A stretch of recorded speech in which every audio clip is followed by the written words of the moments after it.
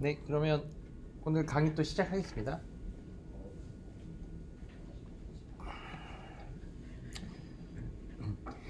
네, 어제부터 저희가 그 convolution에 대한 기본적인 어떤 네, 개념들을 지금 배우고 있고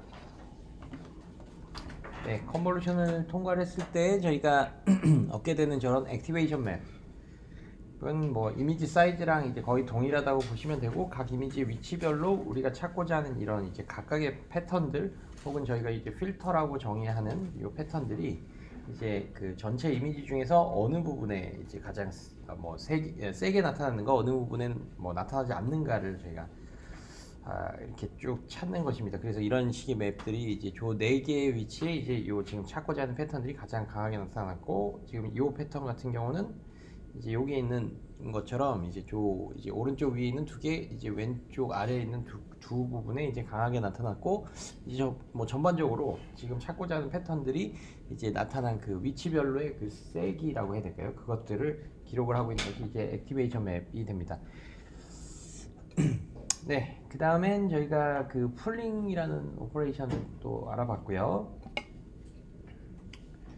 그래서 이제 그 실제로 어떤 네, 위치별로 저, 어떤 그 저장된 그러니까 이제 이미지 사이즈와 거의 동일한 어떤 형태의 이 activation map을 이제 저희는 이제 사이즈를 줄이는 그래서 뭐 2x2 max pooling이다 그러면 이제 저희가 그 네, 요네 개 이제 어, 픽셀들 혹은 저 activation 값들 중에 이제 가장 큰 값들만을 뽑는 그런 형태로 이제 동작이 됐었습니다.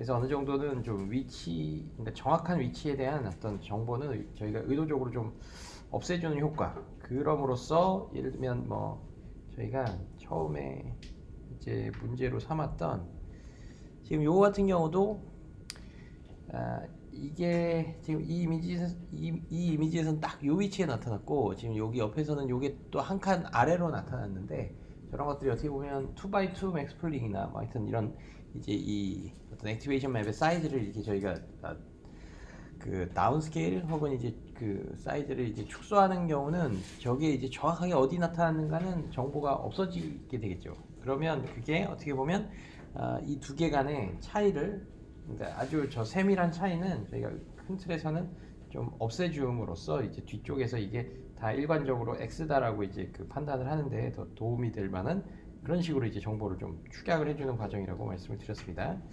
네, 그래서 그게 이제 아, max pooling이라고 하는 것이고요. 네, 그러면 뭐 각각의 이제 activation map을 저희가 max pooling을 하면 7x7짜리의 이제 그 어, 사이즈를 가지던 저 2차원 배열이 이제 4x4라는 네, 형태로 이제 아, 변환이 돼 있고요. 그 다음에 또 하나의 요소는 이 nonlinearity입니다. 그 기본적으로 이제 그 어제도 뭐 말씀드렸던 것처럼 저희가 이제 쪽 이제 CNN에서는 이제 ReLU라는 것을 기본적인 난리니어 유닛으로 사용을 해서요. 이제 저희가 아, fully connected layer에서는 저희가 선형 결합을 한 후에 혹은 선형 변환을 한 후에 그 다음에 이제 ReLU를 적용을 해줬습니다. 각각에 나온 output들에 대해서요. 그 이제 CNN에서는 그 fully connec 저기 convolution layer, convolution operation을 통해서 이제 activation map을 뽑아내는 과정이 그 기본적으로 선형 결합이라고 볼 수가 있습니다. 그게 그러니까 네, 예를 들면 이거를 저 필터를 저기 있는 각각에 해당하는 그 윈도우에다가 쭉 이렇게 아, 매치를 시켜가면서 그때 이제 그 어떤 저희는 큰 틀에서는 이제 내적이라는 연산 혹은 이제 저 필터 coefficient를 이제 해당 윈도우 이미지에 있는 해당 윈도우의 픽셀 값에 곱해서 저희가 그것들을 결합해서 이제 값 하나의 activation을 얻는 거라서 얻는 거기 때문에 그렇기 때문에 이제 이 단계가 기본적으로 선형 결합에 해당이 되고요. 그 다음엔 어, 얻어진 이 선형 결합의 값들을 여기에 이제 ReLU를 저희가 적용을 해주는 거죠.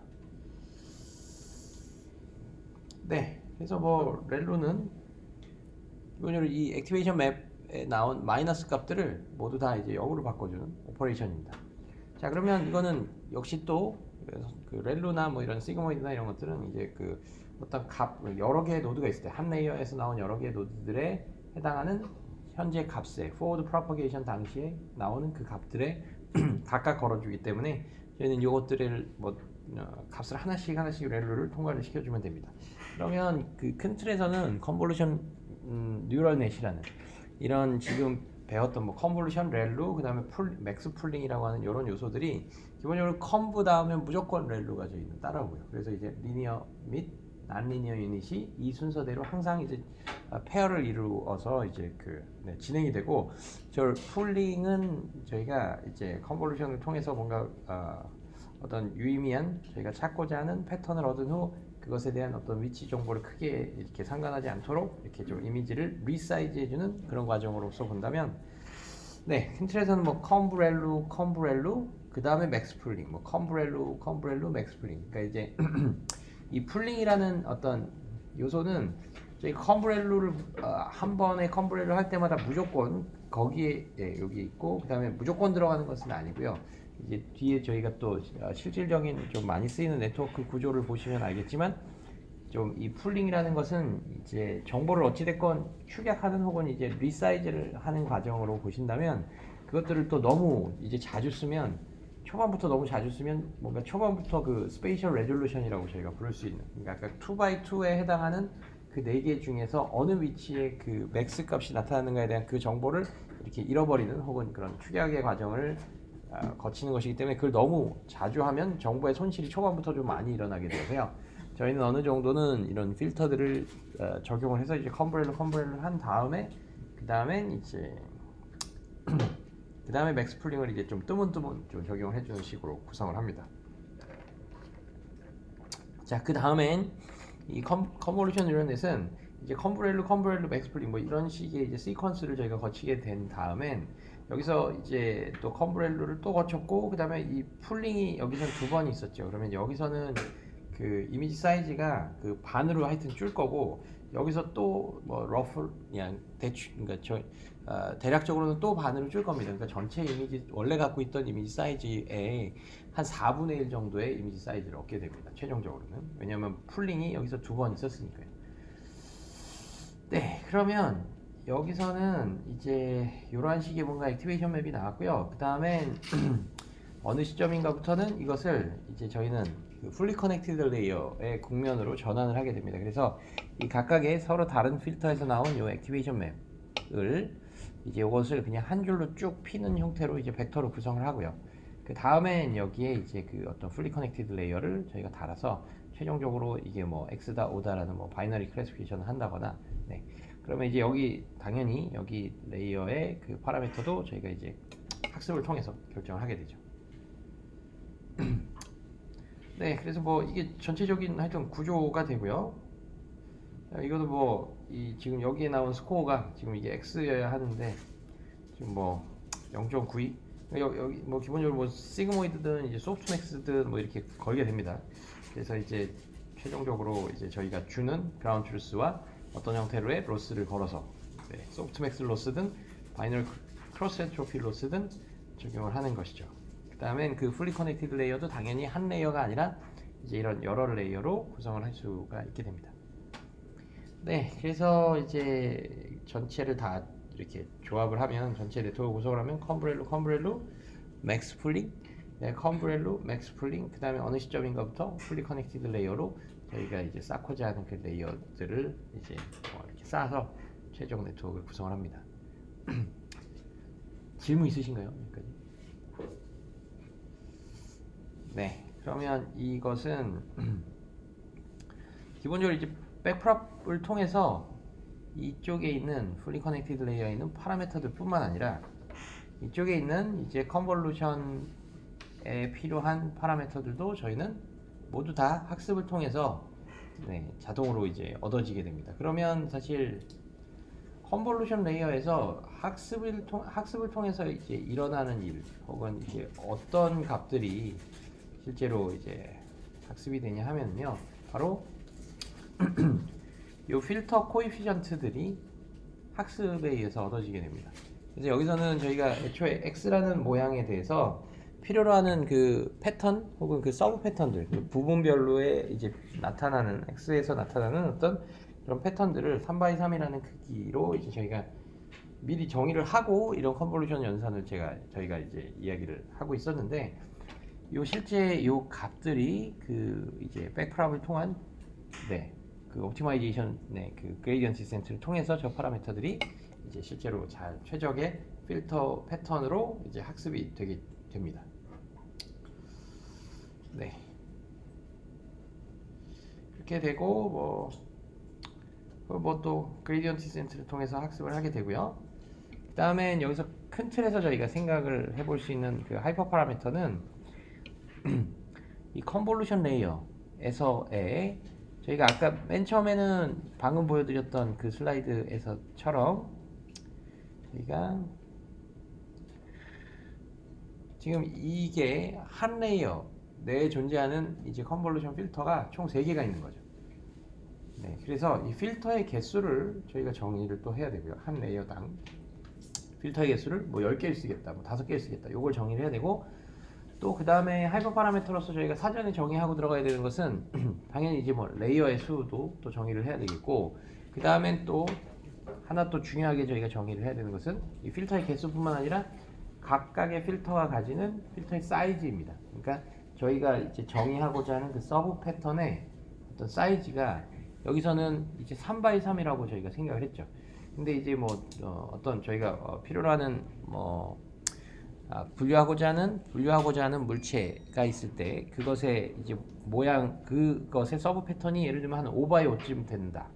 뭐 아니면 뭐7 by 7뭐 이런 이제 어떤 이 저희가 보고자 하는 패턴의 실제 사이즈가 얼마여야 될지 그것을 이제 저희는 window size라고 부릅니다. 혹은 필터 혹은 kernel size라고 부르거든요. 그래서 이거 같은 경우는 kernel size가 3 by 3인 경우가 되고요.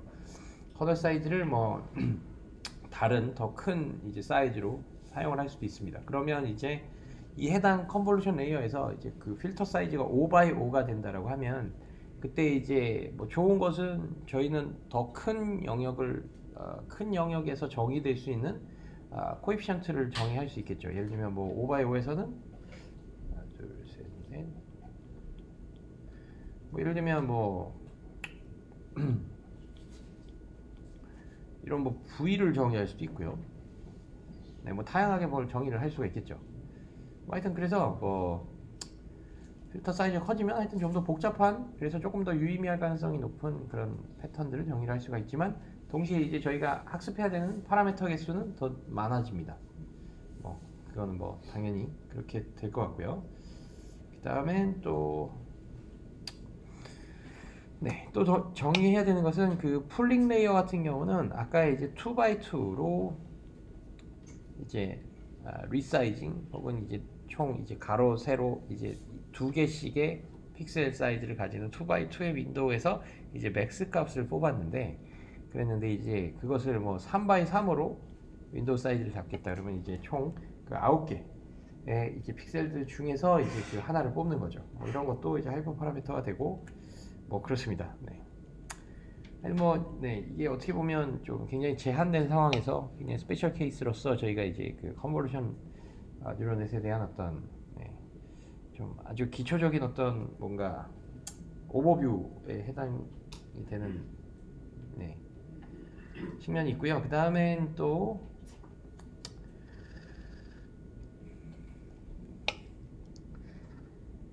저희가 이제 convolution layer를 이제 첫 번째 layer에서 이제 아까 말씀 저희가 이제 이야기했던 이런 다양한 패턴들을 저희가 뽑았는데 근데 이제 convolution layer를 저희가 stack을 한다는 것은 무슨 이야기냐 그거를 또 말씀을 드리겠습니다. 그러니까 두 번째 layer에서 첫 번째에서 나온 activation map을 이제 그 activation map을 입력으로 받아서 거기에 이제 convolution을 또 수행을 한다는 것은 또 어떤 것이냐를 좀 또 말씀을 드리겠습니다. 자 그러면 저희가 그걸 위해서 어, 이쪽에 보자. 네. 좀 더 convolution layer를 일반적인 상황에서 저희가 직접 실제로 쓰는 그 convolution layer에 대한 어떤 형태를 좀 더 알아보겠습니다.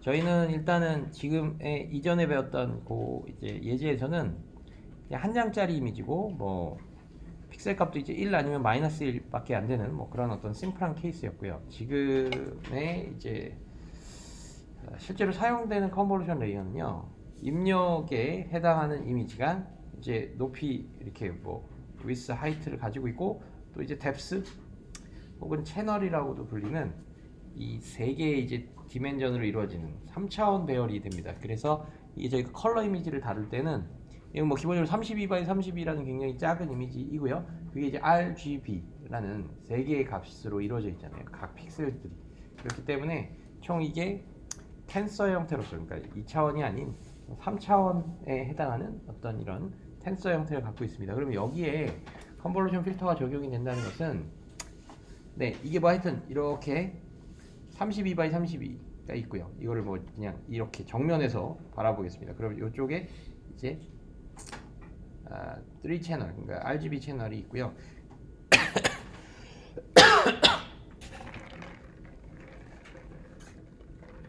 자 그러면 여기에 저희가 만약에 5x 5짜리의 필터를 건다는 것은 요만큼의 뭔가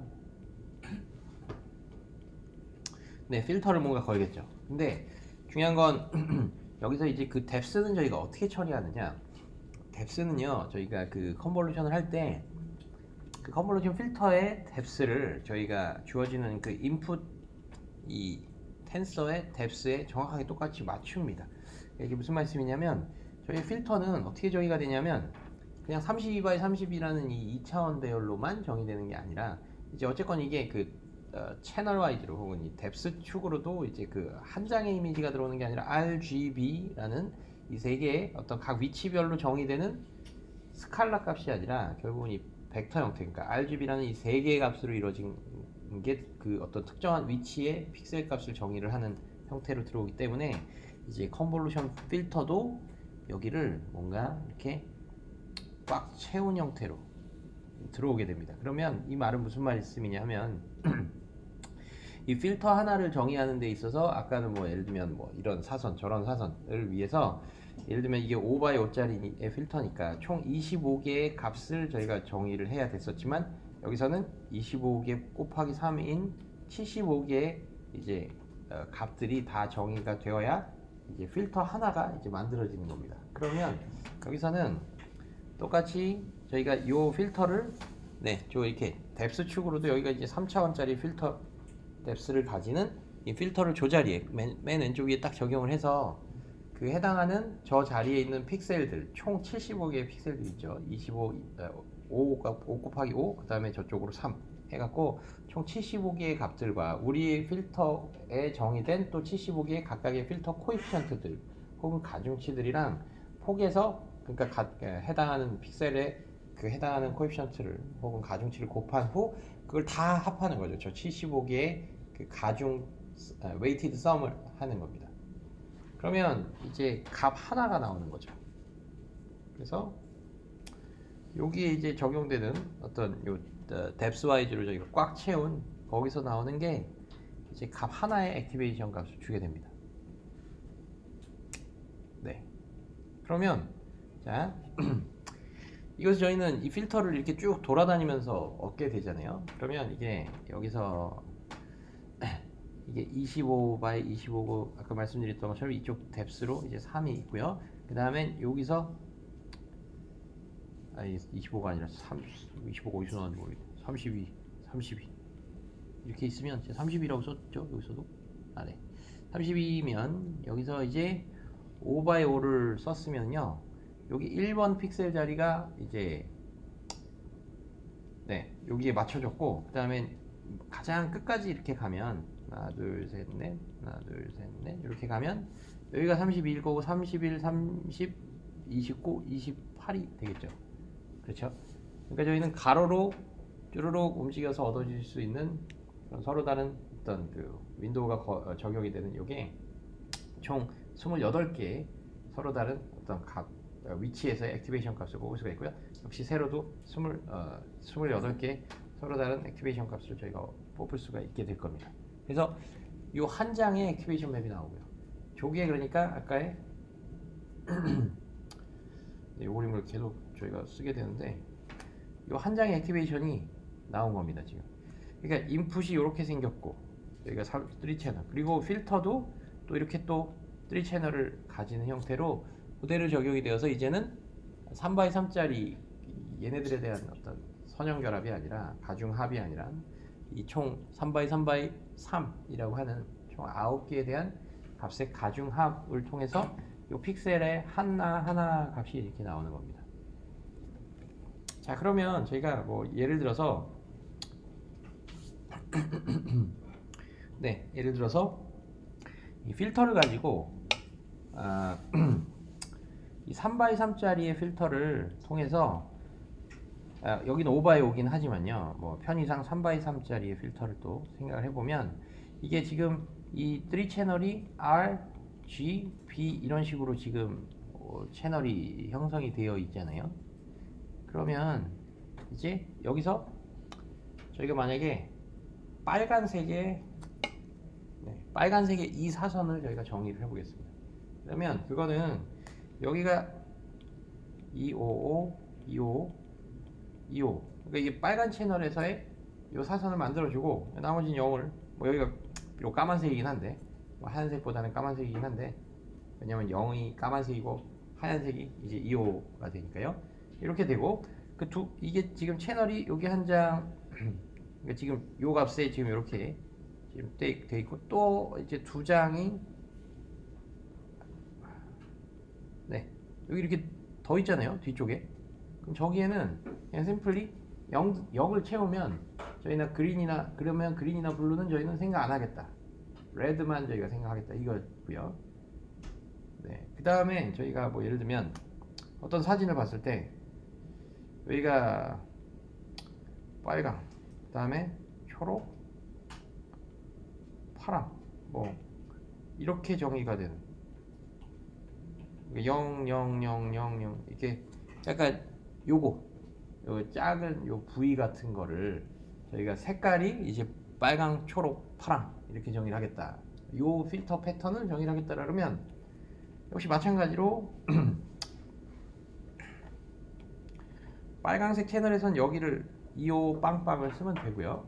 그게 얘를 나타내는 것이고 이 초록색은 이게 G 채널. 저 이거 하나 이거 하나 뒷장에 있는 값에다가 가운데만 2호를 붙이면 되겠죠. 네. 그 다음엔 파랑색에 해당하는 게 이제 요 위치니까 요 자리가 되겠네요. 여기 blue 채널이니까 요 자리에 2호를 붙이고 이 맨 뒷장에서의 채널은 아, 모두 다 이제 쟤 빼고는 0으로 적용을 하면 되겠죠. 그리고 뭐 여러 가지 컬러들을 또 적용을 또 할 수가 있을 겁니다. 네. 그러면 실제로 실제로 저희가 첫 번째 layer에서 첫 번째 layer에서 정의가 되는 필터 패턴들이 저희가 학습을 다 끝내고 났더니 학습을 다 끝내고 났더니 뭐 이런 식의 필터 패턴들이 배워졌습니다. 그러니까 이게 예를 들면 뭐 각각 하나하나의 필터가 RGB별로 그 값들을 어떤 coefficient를 가지면 그거를 그냥 그 작은 뭐 예를 들면 3x3이라는 필터였다 그러면 그 3x3에 대한 이제 RGB를 이렇게 다 weight를 해갖고 이미지를 한 장의 그 컬러 이미지로 만들어 만든 겁니다. 예를 들면 뭐 이런 거는 그냥 뭔가 분홍색 덩어리를 아, detect하는 애고 초록색 덩어리. 그다음에 이건 뭐냐면 엣지는 엣지인데 뭔가 빨강색 면에서 초록색 면으로 이렇게 변환하는 그리고 왼쪽 위에서 오른쪽 아래로 이 edge가 저기 정의 되는 필터들이 지금 네, 여기서 이 필터들에서 찾고자 하는 것이고요. 그다음에 뭐 이런 것들은 지금 다 약간 흑과 백 같은 값들이잖아요. 요, 좀 약간 베이지색이긴 하지만 네, 흑과 백이라고 한다면 저건 뭐냐면 RGB가 종합적으로 높은 값과 종합적으로 낮은 값이 이제 뭐 하얀색과 까만색이기 때문에 저거는 뭔가 이런 어떤 좀, 좀 밝은색 선이 이렇게 이 방향으로 그리고 이 양쪽으로는 뭔가 어두운 뭐 저런 패턴을 이제 디텍트하고자 하는 이제 패턴이 되는 거죠. 네. 그래서 뭐 하여튼 저희한테 하여튼 저희가 convolution layer를 정의할 때는 입력에 들어오는 그 채널을 모두 다 아, 하나하나 그 저희의 필터에서도 그 작은 필터에서도 그 입력에 들어오는 그 모든 채널에 해당하는 coefficient를 싹 다 정의를 하는 네, 즉 input activate 인풋 채널 인풋 채널과 필터의 채널 개수는 똑같게 유지를 하게 됩니다. 자, 그래서 요거 activation 한 장을 얻었고요. 그 다음에 또 다른 필터 또 뭐가 있겠죠. 아까 저 보여드렸던 것처럼 여러 개 서로 다른 필터가 있듯이. 그러면 지금 걔는 걔대로 또 다른 activation map을 28by 28by 1짜리 activation map 하나를 얻어줄 겁니다. 아, 이렇게 아, 생성을 해줄 겁니다. 그러면 이것들을 예를 들면 저희가 필터를 6개를 정의했다. 6개를 정의했는데 네, 이게 5by5 필터. 근데 이게 좀 강, 저희가 이게 5 by 5 필터라고 해도 이게 5 by 5 by 3인 겁니다. 무조건 그러니까 이게 저희가 convolution 정의할 때는 방금 말씀드렸던 것처럼 인풋 채널이랑 이제 convolution 필터의 채널이랑 항상 동일하게 맞춰 줍니다. 그래서 그 값은 저희가 굳이 안 쓰는 경우들도 있습니다. 이거는 왜냐하면 약속이니까. 네. 그렇기 때문에 그냥 씀 그냥 편의상 오 by 오 필터라고 하고요. 그 다음에 필터가 총 6개가 있으면 그러면 이제 네, 이런 식으로 이제 또 구성을 하면 이제 여섯 개의 서로 다른 또 채널을 가지는 28 by 28 by 28 by 28의 어떤 이미지가 또 얻어진 겁니다. 그러면 이거는 큰 틀에서는요. 이게 여기서는 예를 들면 이게 RG 네, RGB라는 이 세 개의 채널로 이루어져 있었지만 여기서의 여섯 개의 채널은 얘는 뭐 예를 들면 뭐 이 V자 패턴 그 다음에 얘는 아까 뭐 이런 뭐 덩어리 뭐 초록색 덩어리 패턴 얘는 또 이제 어떤 뭐 이 엣지 패턴 뭐 이런 저희가 각각 이 activation map 이 한 장 한 장의 채널들을 아웃풋 채널들을 하나하나 만들어가는 데 쓰이는 그 필터들 있잖아요. 그 필터에서 정의된 어떤 그 패턴, 그 패턴이 그 위치별로 얼마나 세게 나타나는가 그 정도를 각 그 채널별로 기록을 하고 있는 거죠. 네. 그게 그러면 큰 틀에서는 이거랑 비슷합니다. 이것도 R이라는 붉은색이 얼마나 그 해당 위치에 많이 나타나고 있는가를 저장하고 있는 것이죠. R 채널이고 그린이라는 또 이제 피처가 혹은 그린이라는 컬러가 또 얼마나 세게 나타나고 이걸 정의를 하고 있는 거라면 큰 틀에서는 얘도 이미지고 그 이미지를 정의하는 세 개의 어떤 피처 혹은 디멘전은 그냥 단순한 어떤 그 픽셀 하나하나를 독립적으로 따로따로 봤을 때 그 컬러 값들이 RGB별로 정의가 돼 있었다면 제 에, 우리가 얻어지는 저 convolution 아웃풋에 얻어지는 요거는 각 채널별로는 이거는 그래도 어느 정도 spatially 그 주변 그러니까 주변에 뭐 5 by 오면은 네 픽셀을 중심으로 했을 때 주변 플러스 마이너스 그러니까 상하좌우로 플러스 마이너스 두 개씩의 픽셀을 더 보고 와서 거기서 이제 뭔가 어떤 패턴들 그리고 역시 RGB라는 그 인풋 채널을 다 사용을 했어요. 그래서 거기서 만들어질 수 있는 spatial 어떤 패턴들을 좀 고려를 한 버전의 그냥 또 다른 어떤 버전의 그, 그 이미지에 대한 저희는 representation을 얻은 겁니다. 그러니까 이것도 큰 틀에서는 저희는 그냥 하나의 변형된 형태의 그냥 이미지라고 볼 수가 있게 됩니다. 네, 그러면 이제 자 여섯 개 이제 이거를 썼으면 어, 이 32가 아까 28로 줄었고요. 그 다음엔 이 세 개의 인풋 채널이 요 두 개 숫자랑 똑같고요. 이 필터 개수가 총 6개가 있다? 그러면 그 한 장 한 장이 저희 아웃풋 채널 한 장 한 장을 만들어내기 때문에 아웃풋 채널의 아, 아, 값은 이제 6이 됩니다. 필터의 개수요. 그 다음엔 또 만약에 여기서 저희가 또 convolution layer를 정, 정의를 하겠다. 그리고 참고로 여기서는 ReLU가 또 있죠. 그럼 두 번째 convolution layer를 정의를 하겠다 그러면 자 여기서도 또 예를 들면 5x5 필터 사이즈를 쓰고요. 그 다음엔 여기는 입력 채널이 6개가 이제 들어오기 때문에 저희 각각의 필터 하나하나의 어, 채널은 6으로 또 똑같이 맞추어집니다.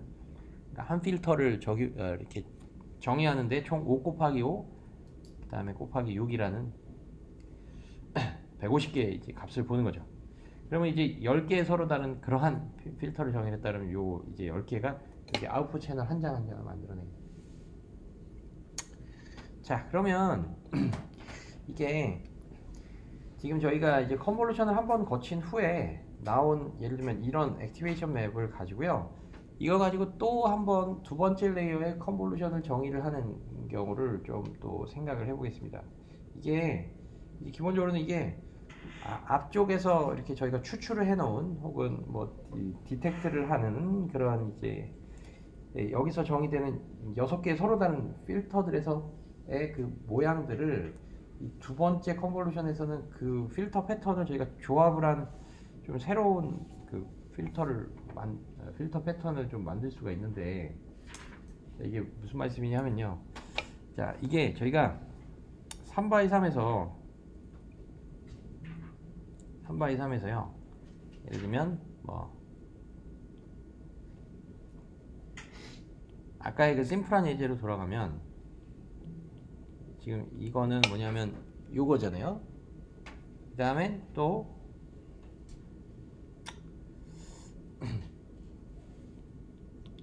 이거 뭐 색깔은 제가 네.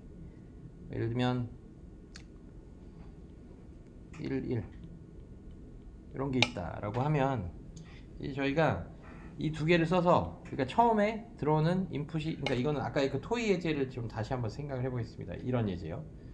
뭐 인풋의 채널이 그냥 하나인 이런 예제를 또 생각을 해보겠습니다. 그러면 여기서 이제 요 필터를 가지고 만들어진 activation map이 있을 거고 이것도 또 activation map이 있을 겁니다. 근데 이제 여기서의 그림으로 보시면 이게 이 저기 channel-wise로 이렇게 stack이 concat이 이런 식으로 됩니다. 그러면 결국 이 이미지와 또 이 두 개의 이미지는 요- 이렇게 뭐 위쪽으로 이렇게 뭐 쌓이는 거라고 보실 수가 있겠죠. 자 그러면 저희는 이 두 개의 필터를 가지고 만들어진 activation map 한 장 한 장으로 주어지는 이 새로운 이 아웃풋 activation map을 다시 입력으로 받, 그러니까 뭐 ReLU도 하고요. 다시 이걸 입력으로 받아서 저희가 만약에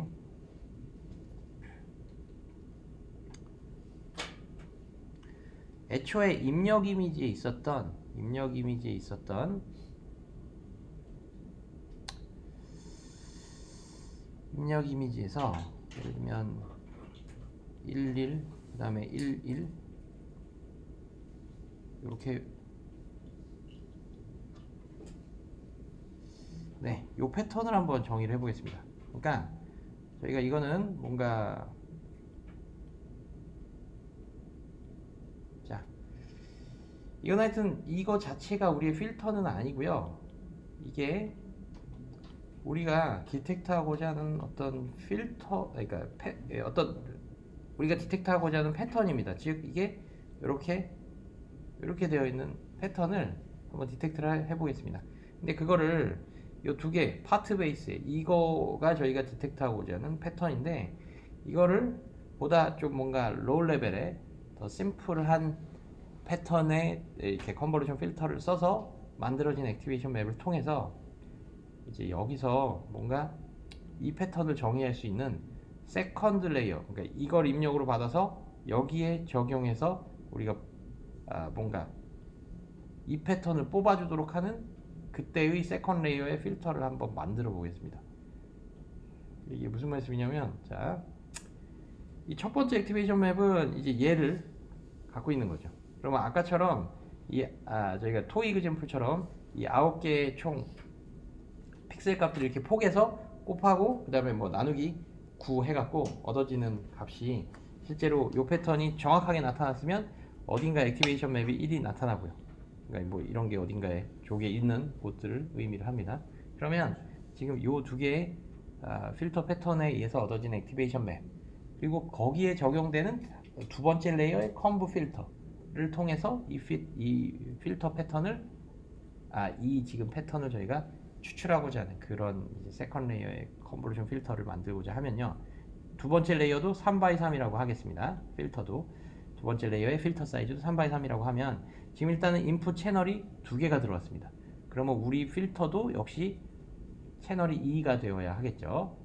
그러면 이게 이거가 첫 번째 채널에 걸리는 네 필터의 coefficient고 또 이 두 번째 채널도 또 있을 텐데 요거를 제가 그냥 요 옆으로 이렇게 쓰겠습니다. 그러면 자, 이 첫 번째 채널은 첫, 예, 첫 번째 채널은 이렇게 지금 생겼잖아요. 그럼 예를 들면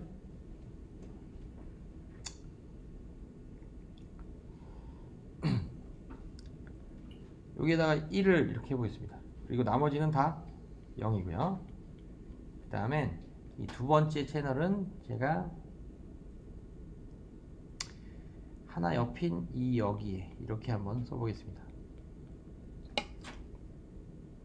자 그러면 지금 이게 여기에 이제 적용이 되면요 적용이 되면 여기 이제 어떤 저희가 보고자 하는 그 여기서의 어떤 3x3 영역이라는 것은요 여기서 예를 들면 여기가 이 첫 번째 채널에 1이 나왔다는 것은 이 자리는 이 자리에 이제 요 필터가 걸려서 요 필터가 걸려서 실제로는 이미지상에 요 1이 의미하는 것은 실제로 요 패턴이 정확하게 요렇게 요렇게 나타난 거죠. 그 다음엔 이 두 번째 필터, 그러니까 요 두 번째 필, 아, 두 번째 필터가 아니라 이 두 번째 채널에 적용되는 필터가 이렇게 지금 되어 있다는 것은 요게 지금 1이 있다는 것은 지금 요 하나 얘는 하나 왼쪽 픽셀이고 쟤는 하나 그거의 오른쪽 픽셀이잖아요. 그러면 이 두 번째 채널에서 이제 하나 옆쪽으로 이제 아, 1이 나타났다는 것은 요 1이 뭐냐면 이 두 번째 채널을 만들어내게 된 이 필터에 해당하는 패턴이 지금 1, 1이 여기 이렇게 있다는 거잖아요. 그러니까 이게 여기서 지금 픽셀이 하나 옆으로 이렇게 있으니까 애초에 원래 오리지널 이미지에서는 1, 1이 이렇게 있고 그 다음엔 예를 들면 이런 이런 네, 패턴들이 하나 이렇게 옆으로 네, 왼쪽 오른쪽에 이렇게 분포를 하고 있다는 겁니다. 좀 예제가 좀 좋은지 좀 잘 모르겠네요. 어쨌건 그래서 요 패턴과 요 패턴을 가지고 이제 이 아- 아웃풋 activation map에 적용되는 어떤 two 채널짜리 그러니까 인풋이 two 채널이니까 두 번째 conv layer의 필터도 two 채널일 거고 그 two 채널에 해당하는 coefficient를 저희가 적절히 조합을 하면 이 첫 번째 layer에서 저- 어, 정의된 이런 패턴들의 어떤 다양한 조합들을 통해서 만들어지는 좀 더 복잡한 패턴들을 정의할 수가 있게 되는 겁니다.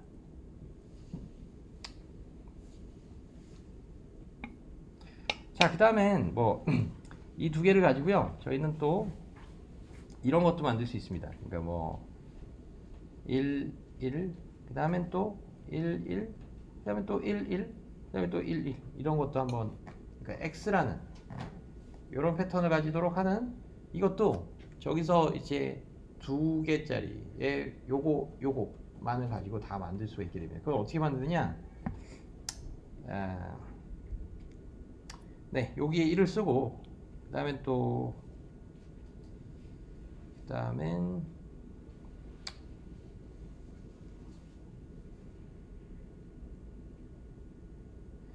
네, 이거를 예를 들면 여기에다가 1을 해보겠습니다. 이게 첫 번째 아, 인풋 채널에 걸리는 두 번째 레이어의 첫 번째 채널의 컨버전 필터입니다.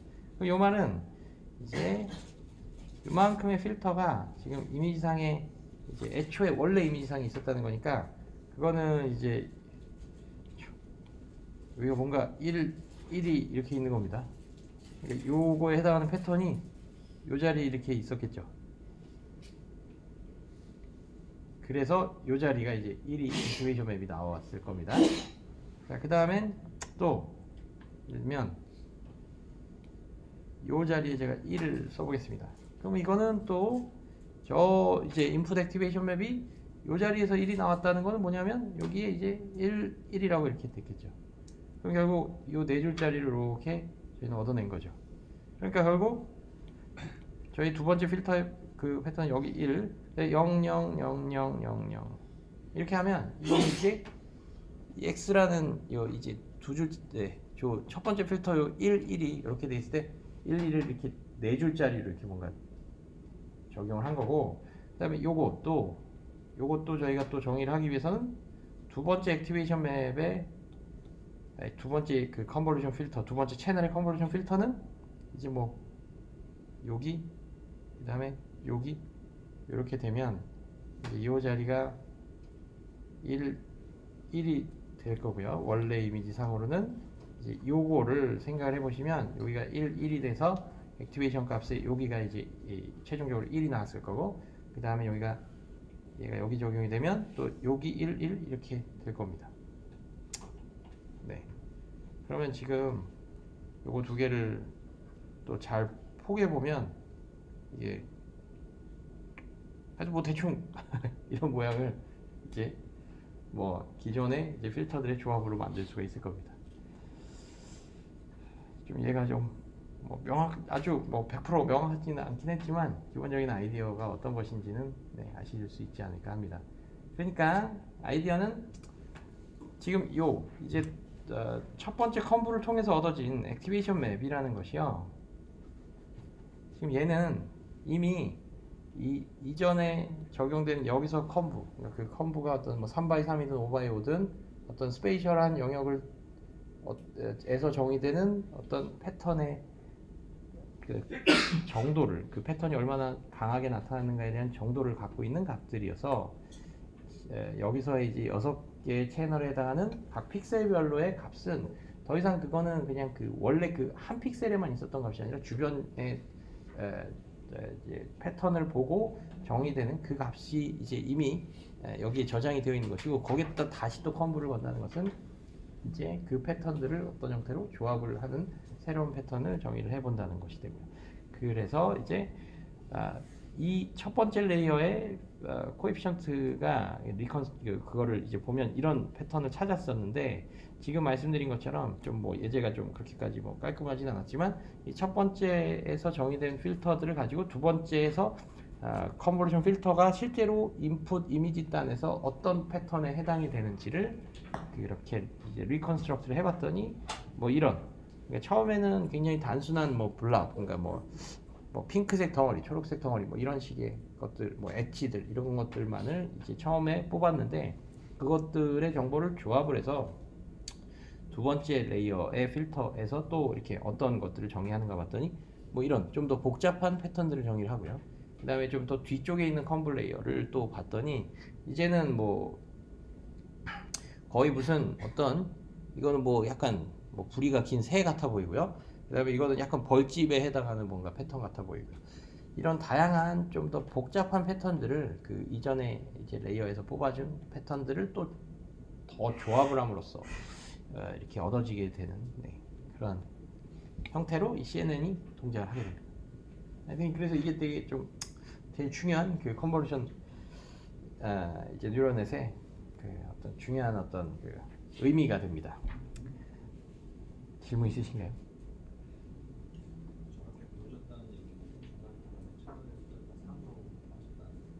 아 이게요? 아니요 그 이게 그, 그렇진 않고요. 이게 저희가 여기서도 만약에 필터가 지금 여기 초록색 이 두 개 채널로 정의되는 두 번째 레이어의 필터가 있, 있잖아요. 그러면 이거를 저희가 픽셀 단에서 여기 있는 1이 뭐지 해갖고 원래의 이제 첫 번째 layer에서 정의되는 그 이 첫 번째 필 채널에 해당하는 요 필터 패턴 있잖아요. 요 필터 패턴을 이렇게 예, 이렇게 중첩을 이렇게 시켜서 여기서는 이제 two 채널로 이루어진 역시 3x 3의 아, 이 필터를 이제 애- 어, 그것들이 갖고 있는 픽셀 단에서의 해당하는 이미지를 이렇게 reconstruct를 좀 한 겁니다. 네. 그래서 이제 두 번째, 세 번째 layer, 그러니까 지금 여기서도 보시듯이 이 여섯 개의 채널은 더 이상 RGB라는 어떤 값들을 각각의 채널별로 갖고 있는 거는 지금은 아니잖아요. 그러니까 이 여섯 개의 채널을 다시 입력으로 받아서 이 두 번째 layer에서 정의되는 convolution 필터는 더 이상 뭔가 RGB에 저희가 적용하는 것은 아니고 그렇잖아요. 근데 이제 그 필터가 뭔가 하나가 정의가 됐을 때 5x 5x 6이라는 사이즈의 필터가 정의가 됐을 때 그게 애초에 이쪽에 있는 그 여섯 개의 각각의 채널을 만들어내던 실제 RGB 채널에서 정의되던 5x 5x 3짜리에 해당하는 필터가 각각 여섯 개 가 하나씩 하나씩 그 채널에 대응이 됐을 거고 그래서 저 두 번째 레이어에서 정의된 필터가 실제로 이렇게 거꾸로 이렇게 거슬러 올라가서 RGB 값으로 복원을 하면 그러면 어떻게 되는가를 이렇게 그리게 된 것입니다. 네. 또 다른 질문 있으신가요? 그리고 실제로 이 필터가 어떤 모양을 가지는지는요, 좀, 좀 이게 복원이 명확하게 복원이 되지는 않습니다, 사실. 네, 그래서 뭐 그런 측면에서 이게 뉴럴넷이 좀 또 해석이 좀 어려운 그런 요소가 또 있고, 그 다음에 이게 하여튼 그래서 완전히 완벽하게 정확한 거는 아닌데 여러 가지 좀 휴리스틱이나 좀 어떤 어프락시메이션을 통해서 이제 뒤쪽 레이어에서 이제 어떤 하나하나의 필터가 의미하는 패턴들을 저희가 잘 이렇게 RGB 단에서 복원을 한 예제가 됩니다. 자, 그 다음에 이제 그냥 또 뭔가 컨볼루션에 또 재미난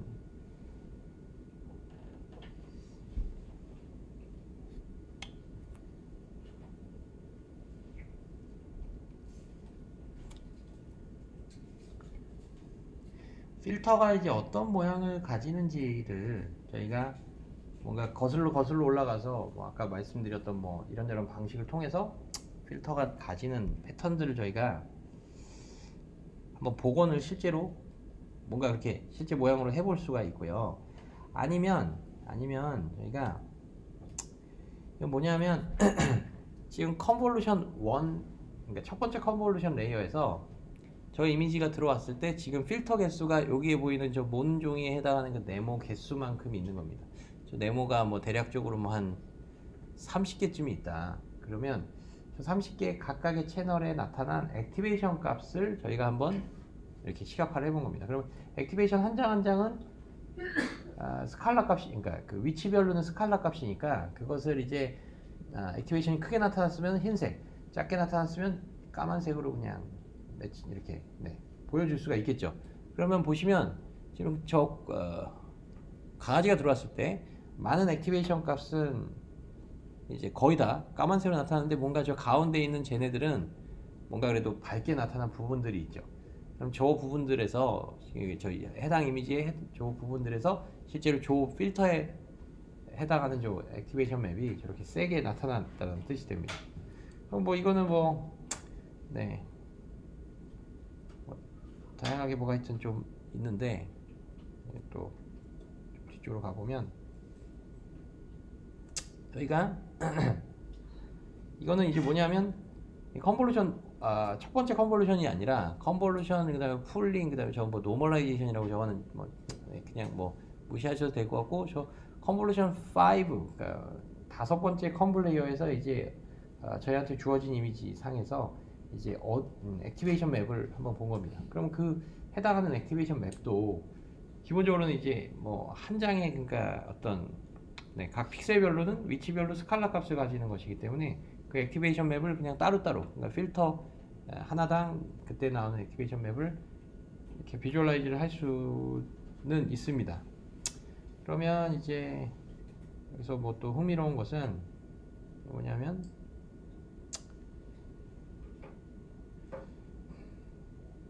좀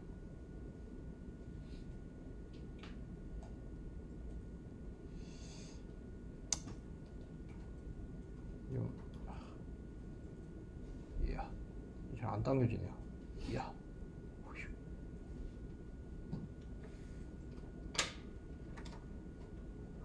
네 이게 지금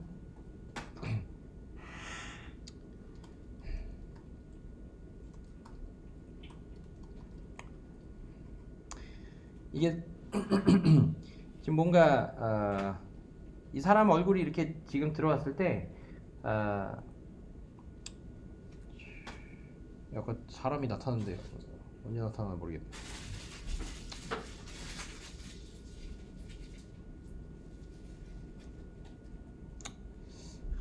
네. 이거는 아 이거는 제가 time timestamp를 다시 찾아서 좀 보여드리겠습니다. 이 그래서 뒤쪽 필터에서는 그러니까 어떤 뒤쪽에 있는 layer에 어떤 convolution 필터를 하나를 잡았더니 그거는 activation 되는 영역이 예를 들면 사람 얼굴에 해당하는 곳만 이제 activation이 되고요.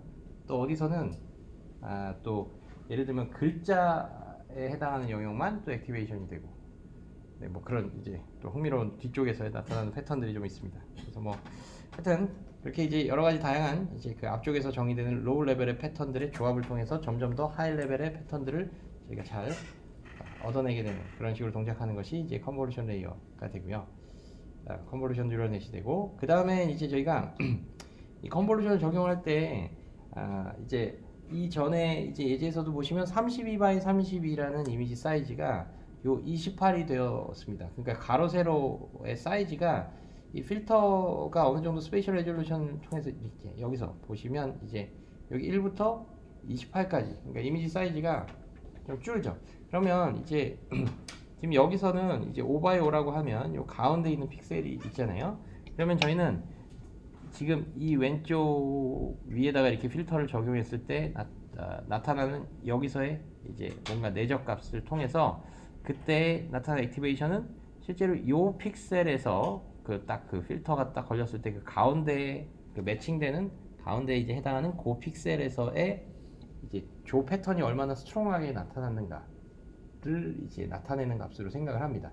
그러면 결론적으로는 저희는 이제 32by 30이라는 이제 픽셀 개수가 있는데 그러면 여기서 이제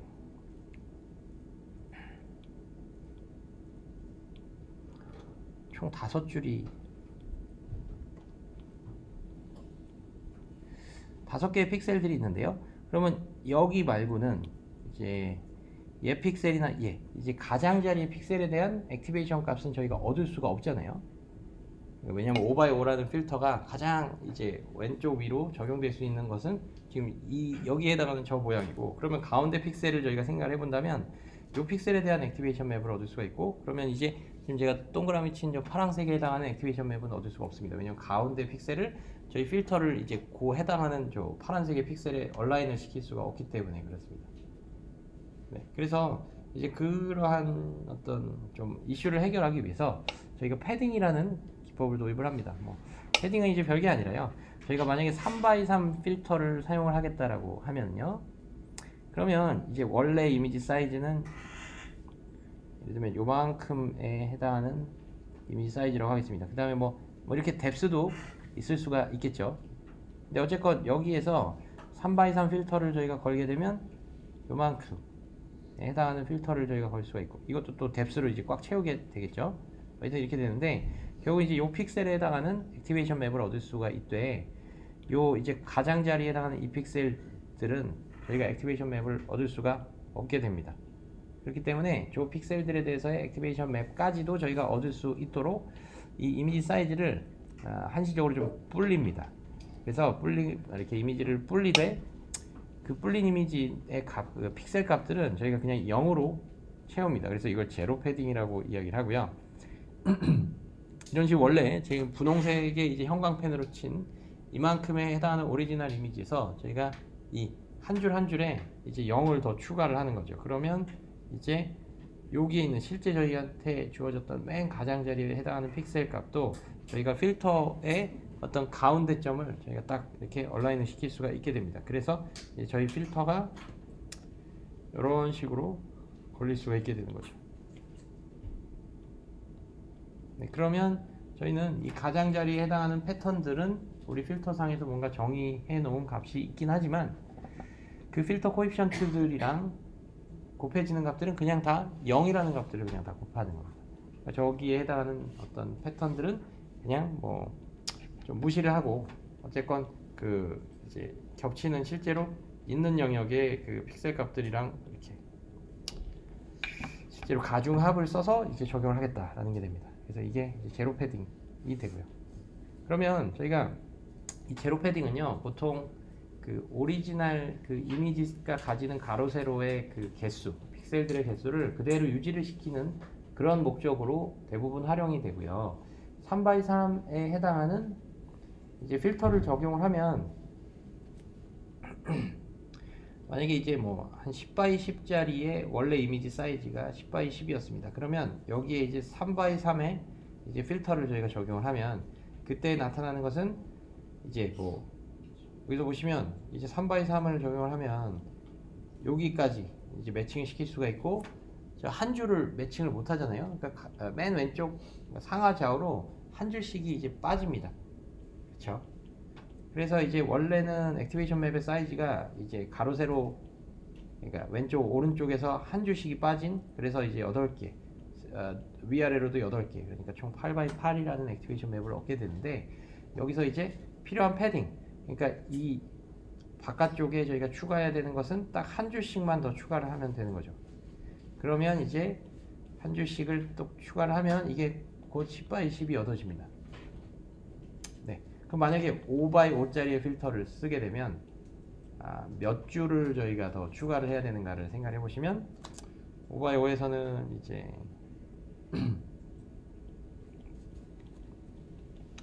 네 여기서도 요 가운데를 요만큼을 생각하시면 요거 두 개를 저희가 가운데 점으로 저희 필터의 가운데 점으로 매칭시킬 수가 없기 때문에 저 가장자리 두 줄을 저희가 매칭을 못 하잖아요. 그래서 이 두 줄이 줄고 저 앞쪽에서의 두 줄이 줄어서 총 네 줄이 줄어서 32가 28이 되는 거잖아요. 그렇기 때문에 여기서는 이제 필요로 하는 그러니까 어, 가로 세로 사이즈를 유지를 하기 위해서 필요한 패딩은 이쪽 두 줄, 뭐 이쪽 두 줄이 되는 거죠. 그래서 이 두 줄, 그러니까 가- 위아래로도 역시 마찬가지로 두 줄씩이 더 필요한 겁니다. 그래서 여기서 필요로 하는 패딩 사이즈는 2라고 이야기를 하는 거죠.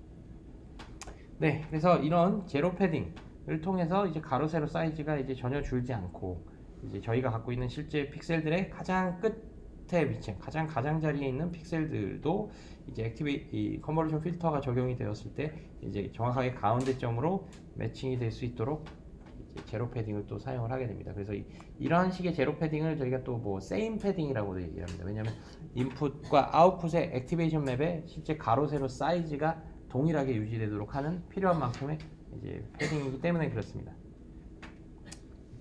질문 있으신가요 여기까지? 네, 그러면 10분 쉬었다가요. 저희가 10시 11분에 다시 시작하겠습니다.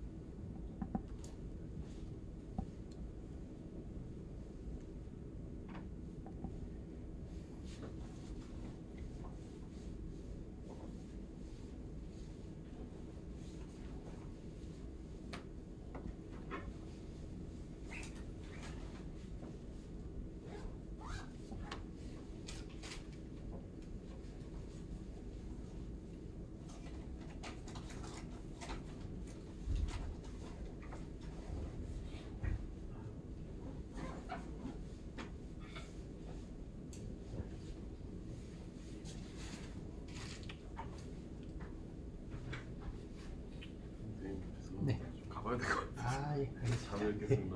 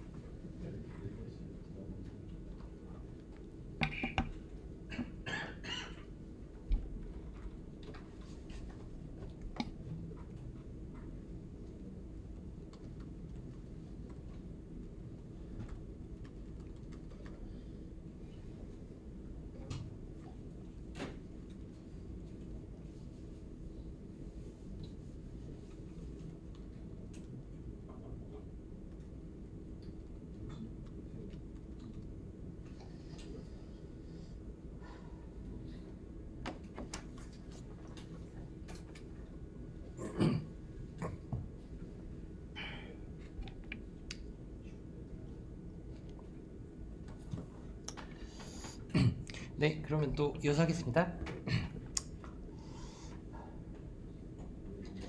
자, 그러면 저희가 그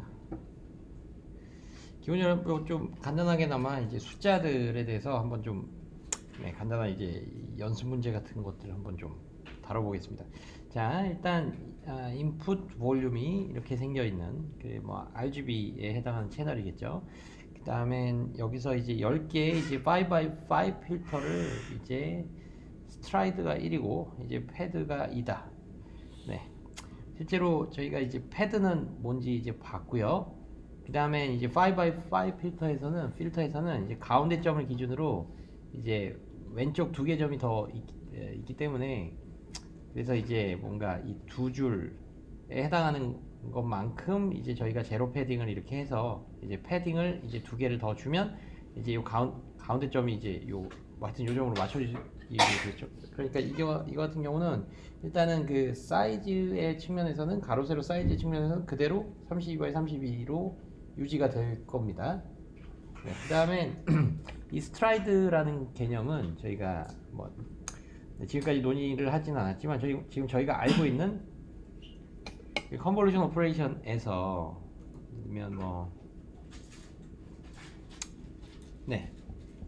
여기서 저희가 이렇게 하나의 필터를 이렇게 적용을 한 후 그 다음에는 오른쪽으로 한 칸 이동을 하잖아요. 한 칸씩 이동을 합니다. 한 칸씩 한 칸씩. 근데 예, 그리고 저거를 이제 저희가 stride 혹은 보폭이라는 이야기로 표현을 하고요.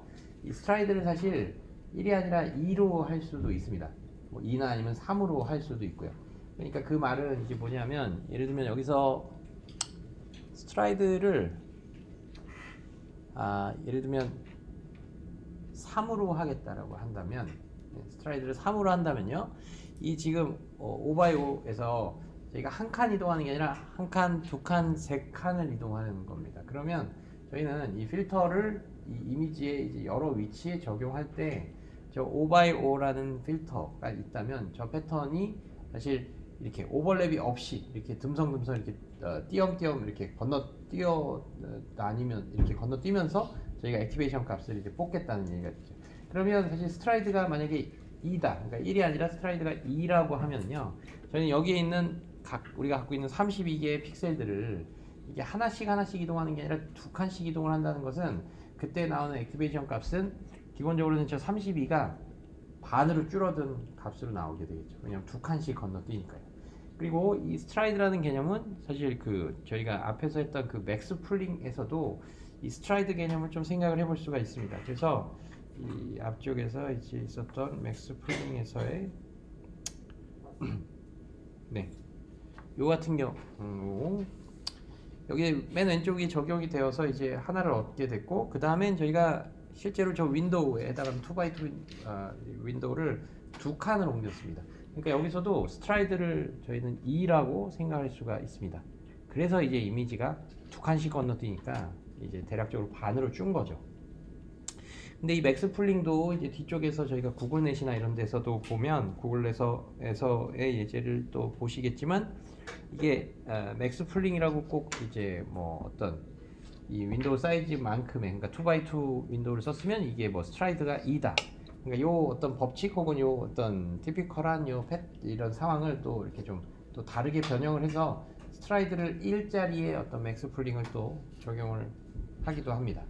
어쨌건 stride라는 것은 그래서 이런 보폭으로서 실제로 activation이나 아니면 이 window를 딱 저희가 적용을 해서 얻, 얻게 되는 그 activation 값들을 이제 아, 몇 번씩 징검다 이렇게 네, 몇 번의 픽셀을 몇 개씩 이동해 가면서 그 activation 값 하나씩 하나씩을 뽑느냐 네, 그거랑 이제 관련이 되고요. 그래서 이제 이거 같은 경우는 이제 stride가 1이 저희가 익히 알고 있는 상황이 되니까 이제 이미지 사이즈는 전혀 줄지 않았고 그 다음에 여기 아웃풋 채널은 이게 몇 개가 되냐 하면 몇 개가 될까요? output activation map의 채널은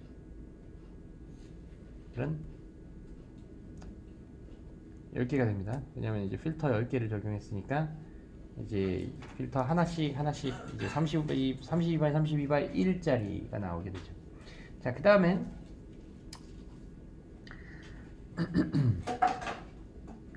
parameter 수를 한번 보겠습니다. 자, 여기에 지금 이렇게 지금 똑같은 상황입니다. 근데 여기 이 convolution layer에서 필요로 하는 parameter 수는 어떻게 되냐면요. 이 5x5짜리의 필터가 지금 이게 depth가 지금 얼마냐면 3입니다. 왜냐하면 이 input depth를 똑같이 맞춰주니까요. 그래서 한 필터에 적이 되는 것은 5, 25에다가 곱하기 3 해갖고 75가 됐었고 여기에 총 10개가 되죠. 그럼 총 750개가 됩니다. 근데 750개가 아니라 760개가 실제로는 되는데요. 이게 왜 그러냐면 저희가 이 5x5짜리 필터를 이렇게 뭔가 적용을 할 때 이렇게 70, 이렇게 5x5 3짜리 필터를 어, 저희 인풋 이미지 어떤 영역에 그대로 포개서 아, 이제 75개의 픽셀 값과 75개의 그, 그 필터의 coefficient를 가중치를 곱하죠. 근데 저희는 거기다가 bias라는 요소를 더 하나 추가를 합니다. 그러니까 하나도 곱해지기 전에 activation 값으로 저희는 뭐 어떤 상수 값을 일단은 기본적으로 얼마로써 이제 부여를 해주는 거죠. 그래서 이제 필터 coefficient가 총 여기서 75개가 나오고요. 이제 5 by 5 by 3 해갖고 75개가 나오고 여기서 필터 하나당 bias 하나씩을 저희가 부여를 해줍니다. 그래서 76개가 이제 나오게 됩니다. 그래서 그게 총 10개가 있으니까 760개가 나옵니다. 자, 그 다음에 pooling 같은 경우는 이런 어떤 역시 그 입력의 이제 tensor와 출력 tensor의 사이즈를 저희가 생각을 해보면 이제 아, 애초에 이미지가 뭐 24 by 24 by 그 다음에 64라고 하는 input 채널을 가진다라고 하면 저희가 2 by 2 이제 max pooling을 적용하면 가로 세로는 정확하게 바, 반으로 줍니다 112 by 112. 그 다음엔 이제 이 어, max pooling은 채널별로 다 따로따로 일어나는 일이기, 일이기 때문에 채널은 전혀 줄지 않습니다. 그래서 64라는 채널은 이제 그대로 유지가 되고 이제 실제로 그냥 이거를 하나의 어떤 아, 이미지 형태라고 본다면 RGB 대신에 어떤 64개의 서로 다른 어떤 의미를 가지는 네, 그때 activation map으로서 이것도 하나의 이미지라고 본다면 이제 그 이미지를 저희가 max pooling은 그냥 반으로 resize를 하는 겁니다. 근데 resize하는 operation이 아, 저희가 이미지 반으로 줄이면 가로도 반, 세로도 반으로 줄면서 그 해당하는 픽셀들을 저희는 보통 평균을 내는 식으로 하는데 그 평균을 내지 않고 이제 그 max pooling이라는 max 값을 뽑는 형태로 이제 연산을 수행하게 됩니다. 그리고 이제 max 저희가 max 연산을 수행을 할 때 이제 이게 어떤 음, 의미를 가지냐 하면요.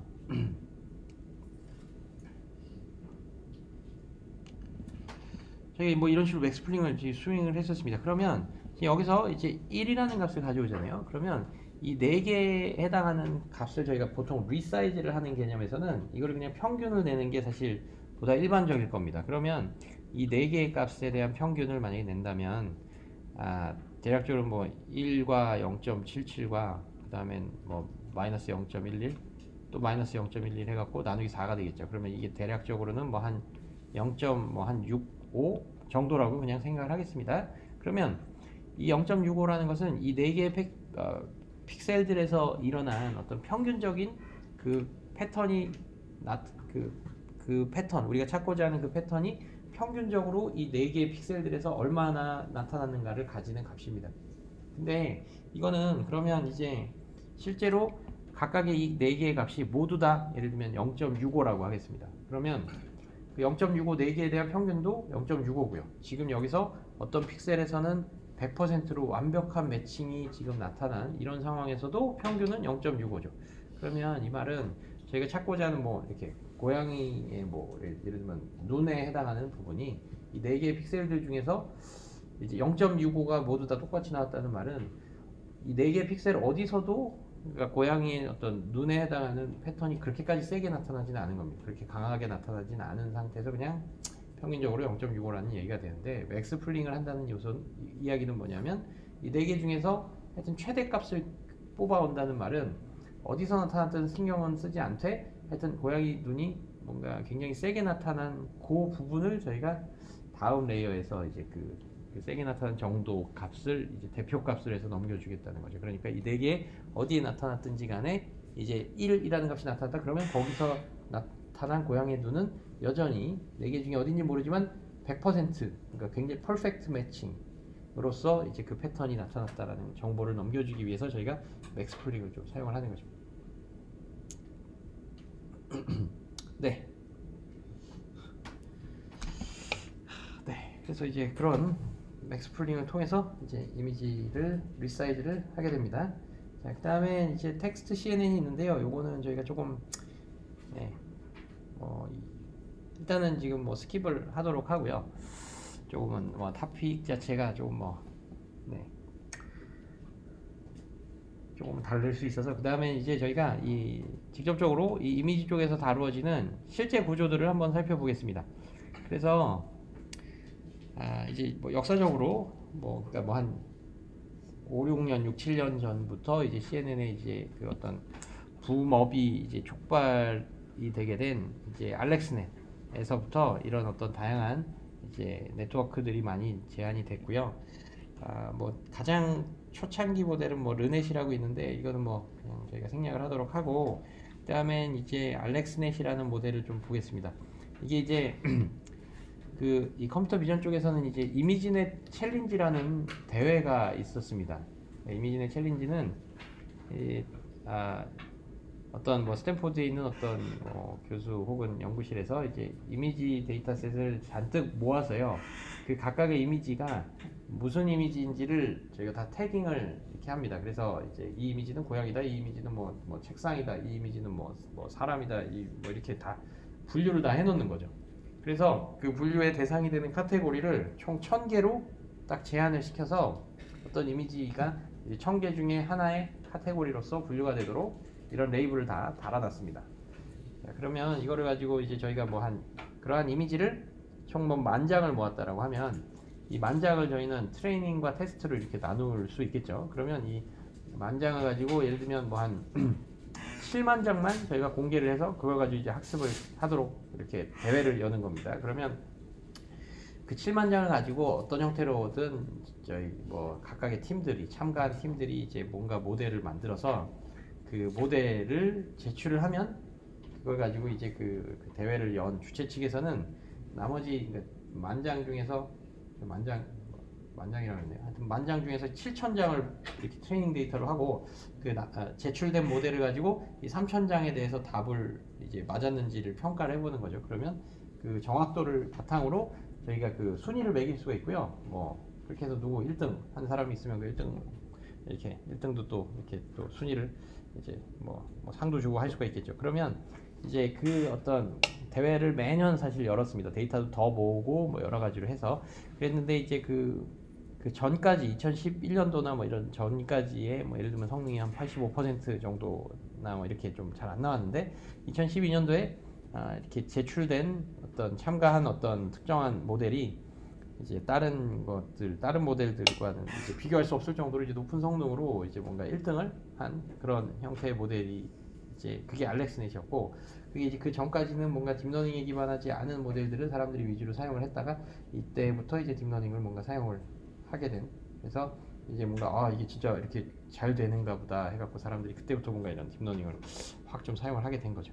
그리고 이제 이게 그 AlexNet의 구조가 됩니다. 그래서 이게 input 이미지는 뭐 이 이게 아마 이게 오타일 텐데 이게 224 224의 이미지로 통일을 했고요. 사이즈는 그 다음에 뭐 여기 convolution 그 다음에 뭐 max pooling 그 다음에 여기 normalization layer는 지금은 뭐 별로 쓰지 않기 때문에 이거는 좀 생략하시되 이런 어떤 layer와 parameter hyperparameter 세팅으로 좀 뭔가 학습을 한 거죠. 그 다음에 이게 모델 구조가 되고요. 그 다음에 이 모델이 지금 이 위쪽이 이렇게 좀 뭔가 잘려져서 보이는 것은 이게 애초에 뭐 이 슬라이드를 만들 때 저 그림이 잘린 게 아니라 아, 이 모델을 어, 예, 제안한 그 오리지널 논문에서 이제 저 그림이 애초에 저렇게 잘린 채로 실었습니다. 실려져 있습니다. 그리고 저게 잘린 채로 실려져 있는 것은 왜 그러냐면 이 아래쪽과 위쪽이 정확하게 똑같기 때문에 이 위쪽을 뭐 이렇게 다른 것처럼 또 얘를 그냥 또 이렇게 이렇게 좀 보지 말고 어쨌거나 아래쪽과 이렇게 똑같은 거다라는 그런 의도를 좀 담은 형태로 되고요.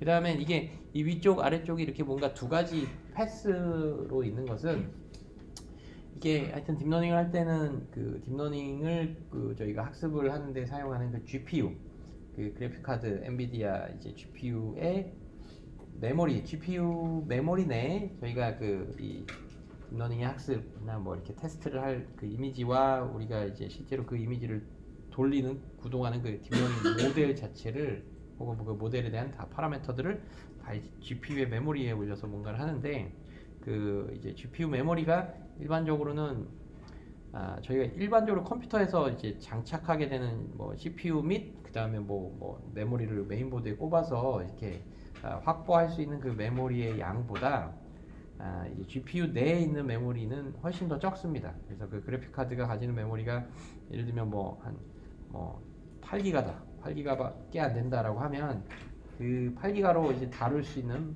혹은 거기에 어, 이제 로드를 해갖고 이제 뭔가 딥러닝을 수- 계산을 할 수 있는 그 모델 사이즈가 그렇게 크지가 않게 되는 거죠. 그래서 예전에는 그 메모리의 한계를 어떻게 그 조금이라도 더 극복하고자 이 보통 그, 그 게임 할 때도 저희가 뭐, 뭐 슬라인이 뭐 무슨 무슨 뭐, 뭐 N, MV 링크인가 뭐 이렇게 해갖고 그래픽 카드를 저희가 두 개를 꼽습니다. 그래서 그거 두 개를 이 위에다가 뭔가 이렇게 연결을 할 수 있도록 하는 뭔가를 꼽으면 그 저희가 이제 게임을 할 때도 그래픽 카드 두 개를 꼽아서 이제 성능을 이렇게 두 배로 낼 수가 있는 거죠. 그러니까 뭔가 parallel processing을 하는 겁니다. 두 개의 하드웨어를 꼽아서 역시 여기서도 마찬가지로 한 GPU가 뭐 예를 들면 8기가짜리밖에 안 된다 메모리가 그러면 GPU를 두 개를 꼽아서 그 두 개의 GPU에 이제 병렬 연산을 시키는 형태로 구성을 했습니다. 그러면 저희는 이제 뭐 약간 이런 겁니다. 이 총 이제 필터 개수가 첫 번째 layer에서는 지금 96개이고요. 96개이고 그 다음에 필터 사이즈는 이제 11 by 11로 꽤 크게 정의를 했습니다. 첫 번째는 그러면 이거를 어쨌건 필터별로 액- 그 저희는 activation map을 뽑는 과정은 다 독립적으로 혹은 병렬적으로 일어날 수가 있기 때문에 이 아래쪽에는 이제 그래픽 카드 1번에는 48개 필터 그리고 이 위쪽 그 두 번째 그래픽 카드에는 이제 또 다른 48개의 필터를 이렇게 병렬 연산을 통해서 이렇게 분배를 하는 식으로 하는 거죠. 네, 그 다음에 거기서 나온 각각의 48장의 activation map을 뭔가 합치는 과정이 있고요. 그 다음에 이제 또 convolution을 걸 때 또 필터 수를 이렇게 나눠서 반씩 나눠서 뭔가를 하게 됩니다. 네, 그 다음에 뭐 여러 가지 지금 보시면 뭐 conv ReLU, 뭐 ReLU는 당연히 포함이 되어져 있는 형태로 보시면 됩니다. 이 convolution 각각의 빨간색 convolution에 ReLU는 음, 항상 바로 따라오는 operation이 되고 fully connected layer를 뭐 이런 식으로 정의를 했고 마지막 layer에 이제 뉴런이나 이제 그 노드의 개수는 총 1000개로 이제 구성이 되어져 있는 것이 총 1000개 중에 하나로 이제 그 분류를 하는 task이기 때문에 그렇습니다. 그다음에 이게 보시면 이제 이 모델이 가지는 의미가 이제 어떠냐면 이제 ReLU를 최초로 뭔가 사용을 했다. 그 다음엔 뭐 이제 데이터 augmentation도 많이 했고 또 dropout도 했고요. 그다음에 batch 사이즈는 mini batch 사이즈는 이렇고 또 gradient descent를 그냥 사용한 게 아니라 또 이제 momentum을 또 사용을 했고요. 저희가 이제 배웠던 그런 momentum을 사용을 했고 뭐 이제 weight decay는 이거는 뭐 이제 L2 레귤러라이제이션을 또 사용을 했다라고 하고 뭐, 뭐 그렇습니다. 자, 그래서 그 모델이 이제 2012년도에 열린 그 대회에서 이제 1등을 차지를 했고 그때의 이제 accuracy가 이제 1000개 중에 하나로 분류를 하는 accuracy가 혹은 그때 error rate이 16.4 지금 그러니까 한83.6% accuracy가 나왔습니다. 네. 그리고 그것은 지금 여기서 보시면 이 layer의 개수가 대략 뭐 한 8개의 layer를 쓴 것으로 볼 수가 있고요. 그 다음에 이 대회를 똑같이 최근까지 2015년도까지 이제 열었, 열면서 뭐 데이터를 더 모으고 하면서 매년 그 같은 대회를 개최를 하는 겁니다. 그러면 사람들이 좀더 아, 개선된 모델들을 또 제, 이렇게 제안을 하고 이 대회에 참가를 함으로써 대회가 진행이 되는 거죠. 그러면 이 에러 에러율이 11%로 떨어지고 7%, 6%, 3%로 이렇게 떨어졌습니다. 그러면서 이제 실제로 1등을 한 모델들의 그 layer 수를 봤더니 8개, 8개. 그다음에 조금 늘어났고 19개, 22개, 지금은 이제 152개 layer. 네, 이게 그래서 이제 ResNet이라고 불리는 모델이 됩니다. 뭐 residual net이라고 불리는 모델이 되고요. 자, 그 다음엔 아, 이 AlexNet 이후에 이제 나온 네트워크 이제 VGGNet이라는 이제 2014년도에 이제 나온 네트워크가 있습니다. 그래서 이게 그때 당시 아마 1등을 한 네트워크가 되고요.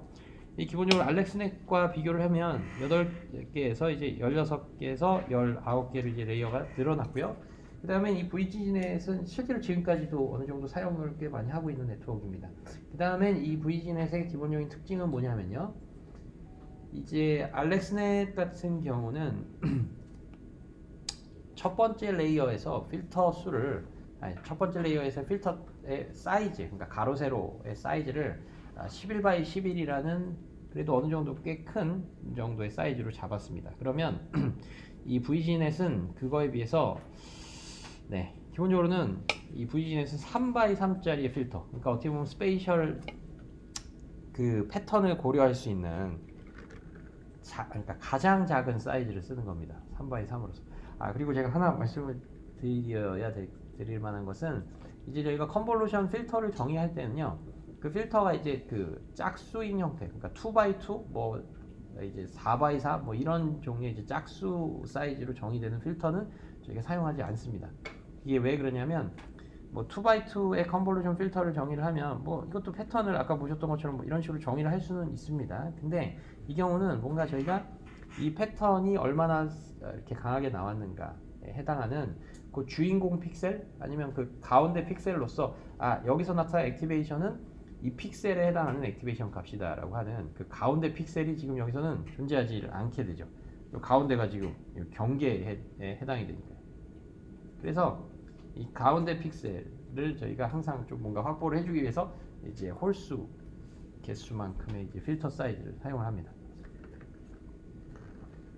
네, 그렇게 따지면 저희가 spatial resolution을 네, 그러니까 그 필터 사이즈를 줄일 수 있는 가장 작은 그 이제 필터는 3x3이라는 것을 알 수가 있고요. 그래서 이게 이제 3x3의 필터만을 저희가 사용을 한 형태가 이제 VG넷입니다. 네, 그러면 이 3x3 필터를 사용한 이 VG넷이 가진 어떤 장점이라고 할까요? 아니면 이게 왜 동작을 잘 하는지에 대해서 이제 좀 이해를 해보겠습니다. 이게 이 알렉스넷은 처음부터 이제 11x 11짜리 필터를 썼지만 여기서는 다시 한번 말씀드리면 3x3이라는 작은 사이즈의 필터를 씁니다. 그러면 아까 잠깐 말씀드렸던 것처럼 필터가 작아지면 저희가 볼 수 있는 패턴도 그만큼 제한적입니다. 근데 이제 VG넷에서는 알렉스넷보다 이제 기본적인 차이는 말씀드렸던 것처럼 layer를 아, 훨씬 더 많이 썼죠. 그러면 이 말은 무슨 말씀이냐면 이 필터 사이즈는 작아도 이 layer를 많이 쌓으면 그게 이제 애초에 큰 필터 사이즈를 충분히 커버하고 또 남는다 혹은 그거보다 더 좋다라는 게 이 VGGNet의 기본적인 아이디어가 됩니다. 그래서 여기서 저희가 한번 생각을 해볼 것은 저희가 첫 번째 layer의 이제 convolution에서 예를 들면 한 7x 7짜리의 필터를 사용하는 것을 한번 예를 들어 보겠습니다. 네, 뭐 이런 필터가 있고 그 다음엔 저희가 3x3짜리의 필터를 사용한 예를 보면 자, 이 필터를 저희가 첫 번째 layer에서 3x3 필터를 썼다라고 이게 이제 conv 1이고요. 그 다음엔 또 여기서 뭔가 나온 activation map에다가 다시 이제 conv 2에서 여기서 또 3x3 필터를 한번 써보겠습니다. 그러면 아까 저희가 봤던 이게 좀 조금 뭐 설명이 명확하진 않았을 수 있지만 딱 지금 뭔가 이 상황이거든요. 자, 첫 번째 layer에서 conv, 사, conv 필터의 사이즈가 3x3인 상황에서 두 번째 layer에서 또 3x3짜리의 window 사이즈를 가지는 필터를 쓰면요. 그러면 여기서 정의되는 뭐 패턴은 기본적으로 두 번째 layer에서 3x3은 각 하나하나의 픽셀들이 첫 번째 layer에서의 3x3의 패턴을 보고 나온 그러니까 거기서의 어떤 activation 값들이기 때문에 여기서 실제 한 픽셀은 원래 이미지에서의 3x3 픽셀에 해당이 됩니다. 그렇죠? 그래서 제가 이 초록색으로 좀, 이어, 좀 얇게 그린 저만큼 그러니까 요거에 해당하는 값이 이만큼의 그러니까 오리지널 사이즈에서는 이만큼 사이즈를 가지고요. 이것도 역시 마찬가지로 이만 오리지널 이미지에서는 3x3에 해당하는 어떤 패턴이었잖아요. 그럼 여기도 역시 마찬가지로 또 3x3이죠. 그러면 지금 여기서 보이시는 이 3x3이라는 그러니까 두 번째 layer에서의 3x3 필터는 애초에 원래 이미지에서의 아, 픽셀 사이즈로 보면 픽셀 개수로 보면 몇 개에 해당이 되느냐? 어, 이 왼쪽으로 한 픽셀, 오른쪽으로 한 픽셀 더 넓게 보는 셈이잖아요. 그렇기 때문에 여기서는 아, 인풋 이미지에서 5x 5 짜리의 어떤 window를 가지는 것과 좀 유사하다고 생각할 수가. 이, 있을 것 같습니다. 네, 그래서 3x3을 3x3 convolution layer를 두 개를 쌓으면 결국 그두 번째 3x3은 하여튼 말씀드린 것처럼 이제 3, 아, 한 픽셀이 3x3 영역이기 때문에 이제 그래서 이제 총 5x5 의 사이즈를 가지는 형태로 생각을 할 수가 있습니다. 이 인풋 이미지에서의 어떤 아, 보, 아, 아, 보게 되는 영역의 크기로서요. 그러면 이거를 한번 컨볼루션을 저희가 뭔가 또 나왔을 때 또 3x3을 한번 더 쌓아 보겠습니다.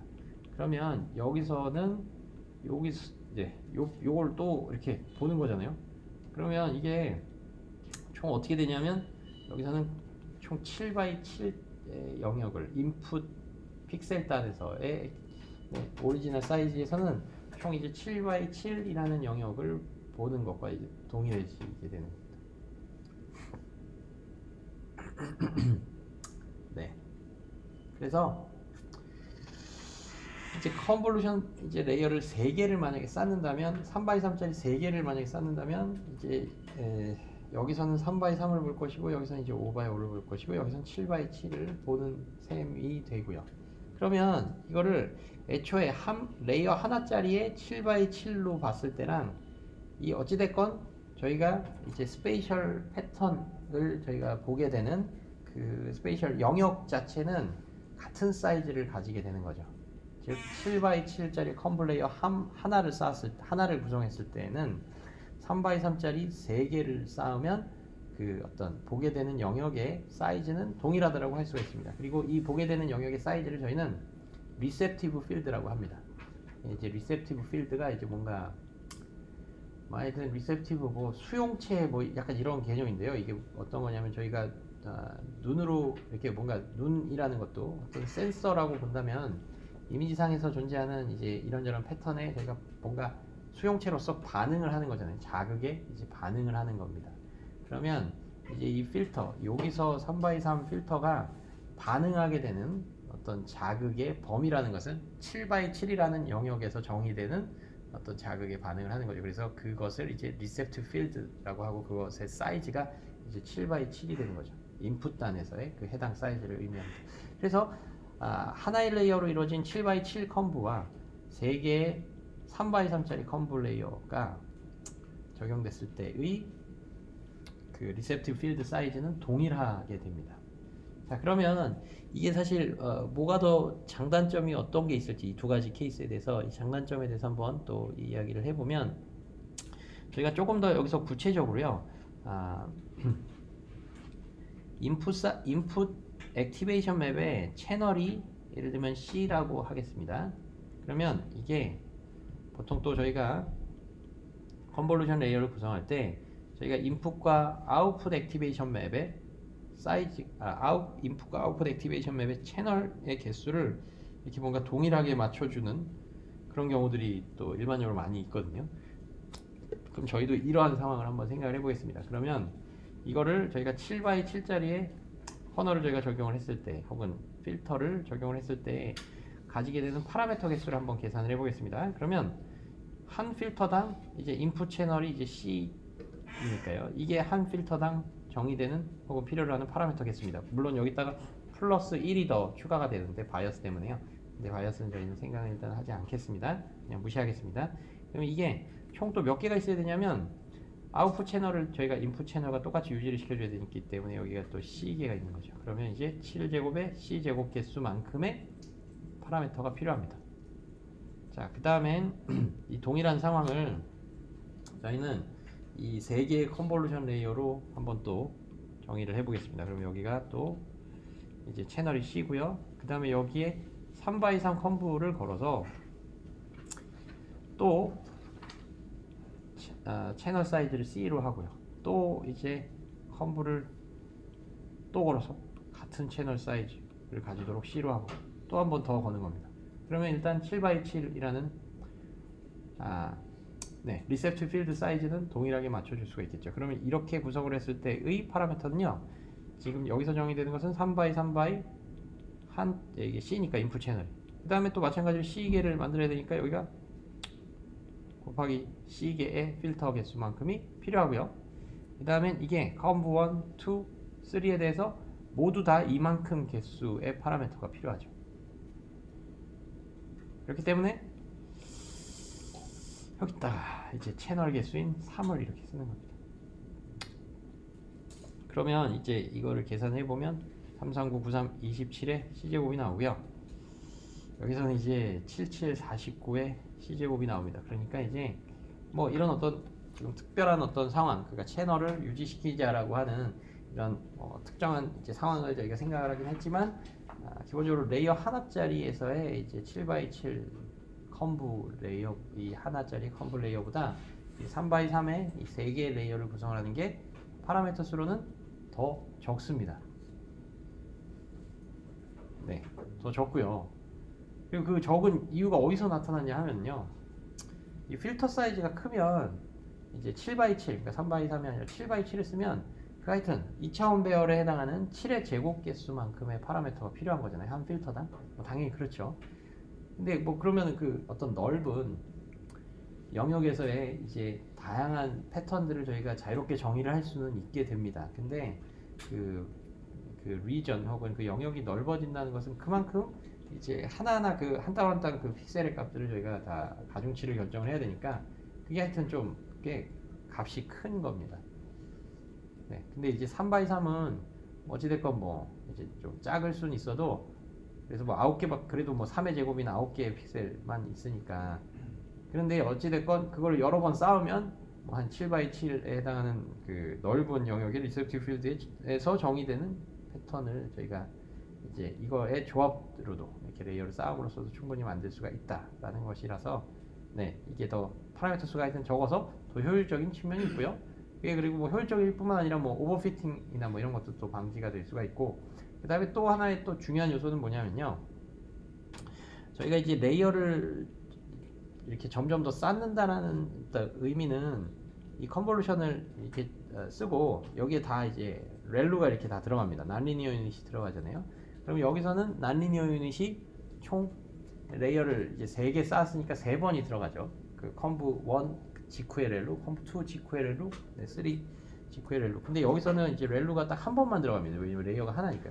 그러면 이게 nonlinear 어떤 nonlinear transformation 혹은 이 nonlinear activation이 여기서는 세 번, 앞에서는 한 번이니까 뭔가 이제 좀 비선형적인 효과를 좀 저희는 더 여러 번의 기회가 주어지는 거죠. 비선형의 효과를 만들어내는 그 기회가 보다 여러 번에 걸쳐서 주어지기 때문에 저희는 일반적으로 저희한테 주어지는 학습 데이터를 fitting을 하는 데 있어서 좀 더 뭔가 유리한 측면이 있게 됩니다. 그래서 layer를 여러 개 쌓음으로써 이제 그런 어떤 비선형의 효과도 더 많이 이제 맛볼 수가 있게 되고요. 그 다음에 파라미터 수는 그것대로 더 적고요. 같은 receptive field 사이즈에서 정의되는 패턴을 정의하는데 이제 필요로 하는 파라미터 수도 훨씬 더 적게 되고 네, 그래서 이러한 장점으로 인해서 3x3에 해당하는 필터 사이즈만을 주장창 써도 그걸 쌓으면 어, 큰 사이즈에서 정의될 수 있는 큰 receptive field 사이즈에서 정의될 수 있는 다양한 패턴들을 네, 충분히 다 표현할 수가 있게 됩니다. 이게 기본적인 VGG의 장점이 됩니다.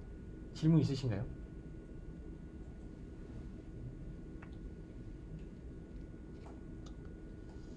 네, 그러면 이 VGNet의 기본적인 어떤 파라미터 수나 어떤 액티베이션 맵의 사이즈들을 한번 좀 보도록 하겠습니다. 자, 일단은 아, VGNet을 제가 그림으로 한번 좀 또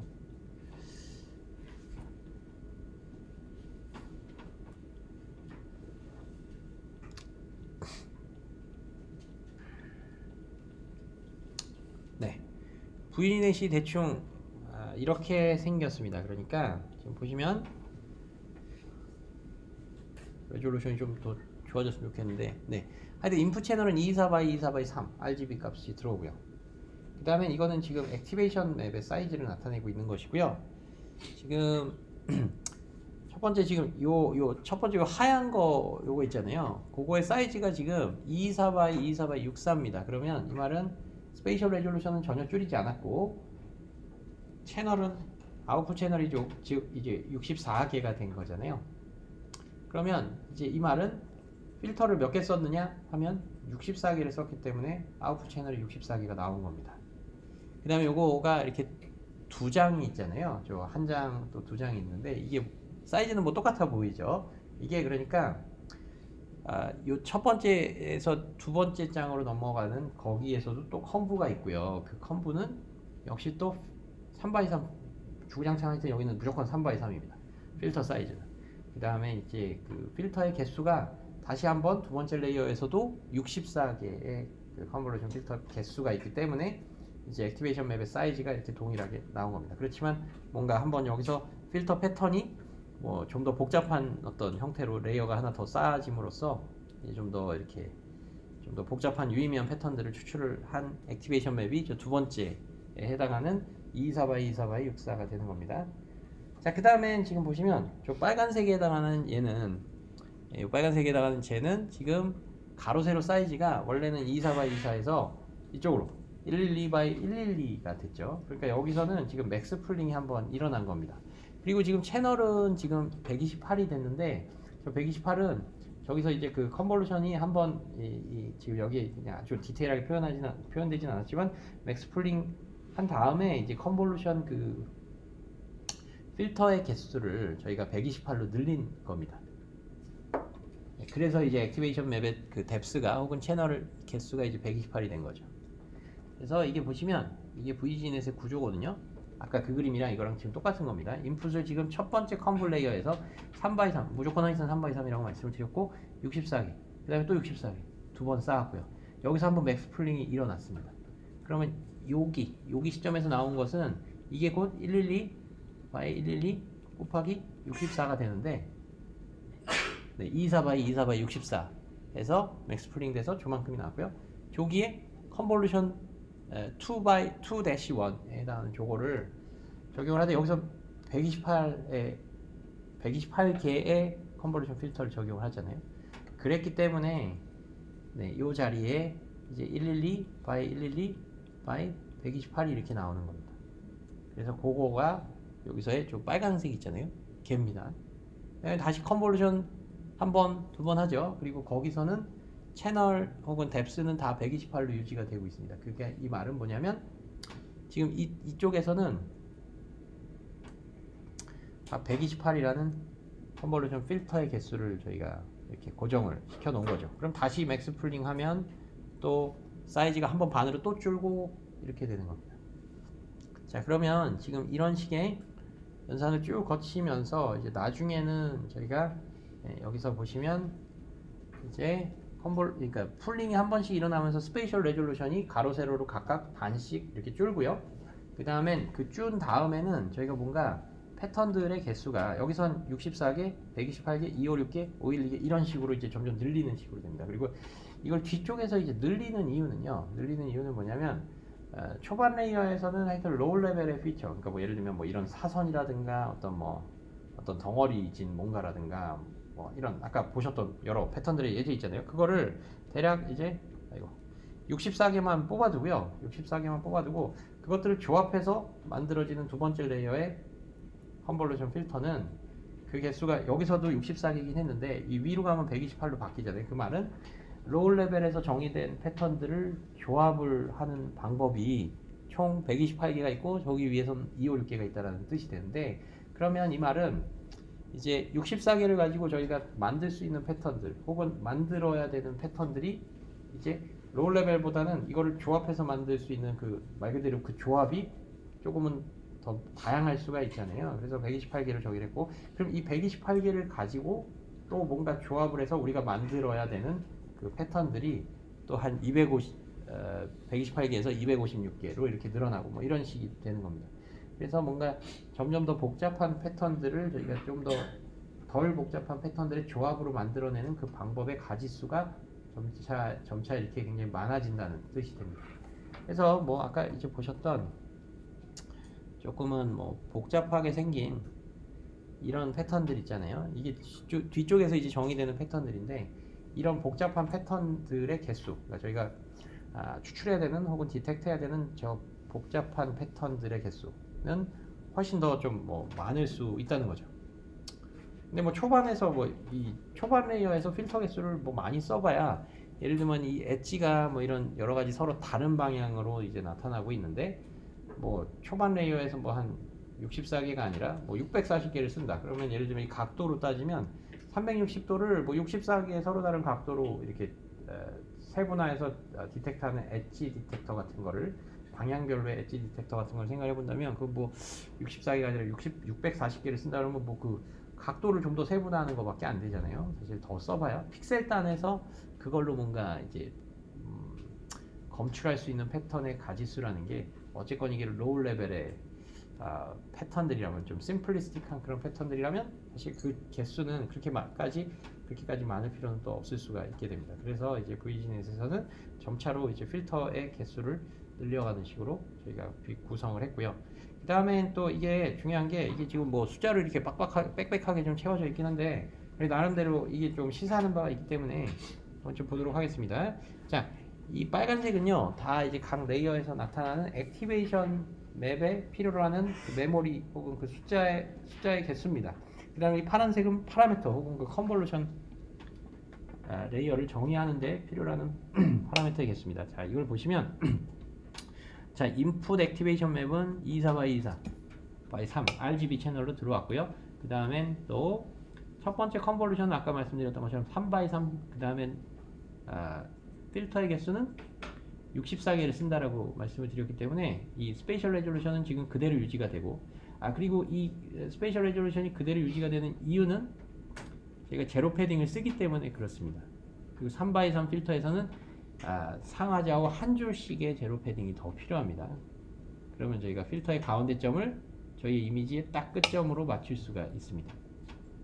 자 어쨌건 그렇고 64개가 이렇게 됐습니다. 그러면 여기에 이제 필요로 하는 개수는 이걸 다 곱해보면 3.2 밀리언이 필요합니다. 그 다음에 파라미터 개수는 어떻게 되느냐?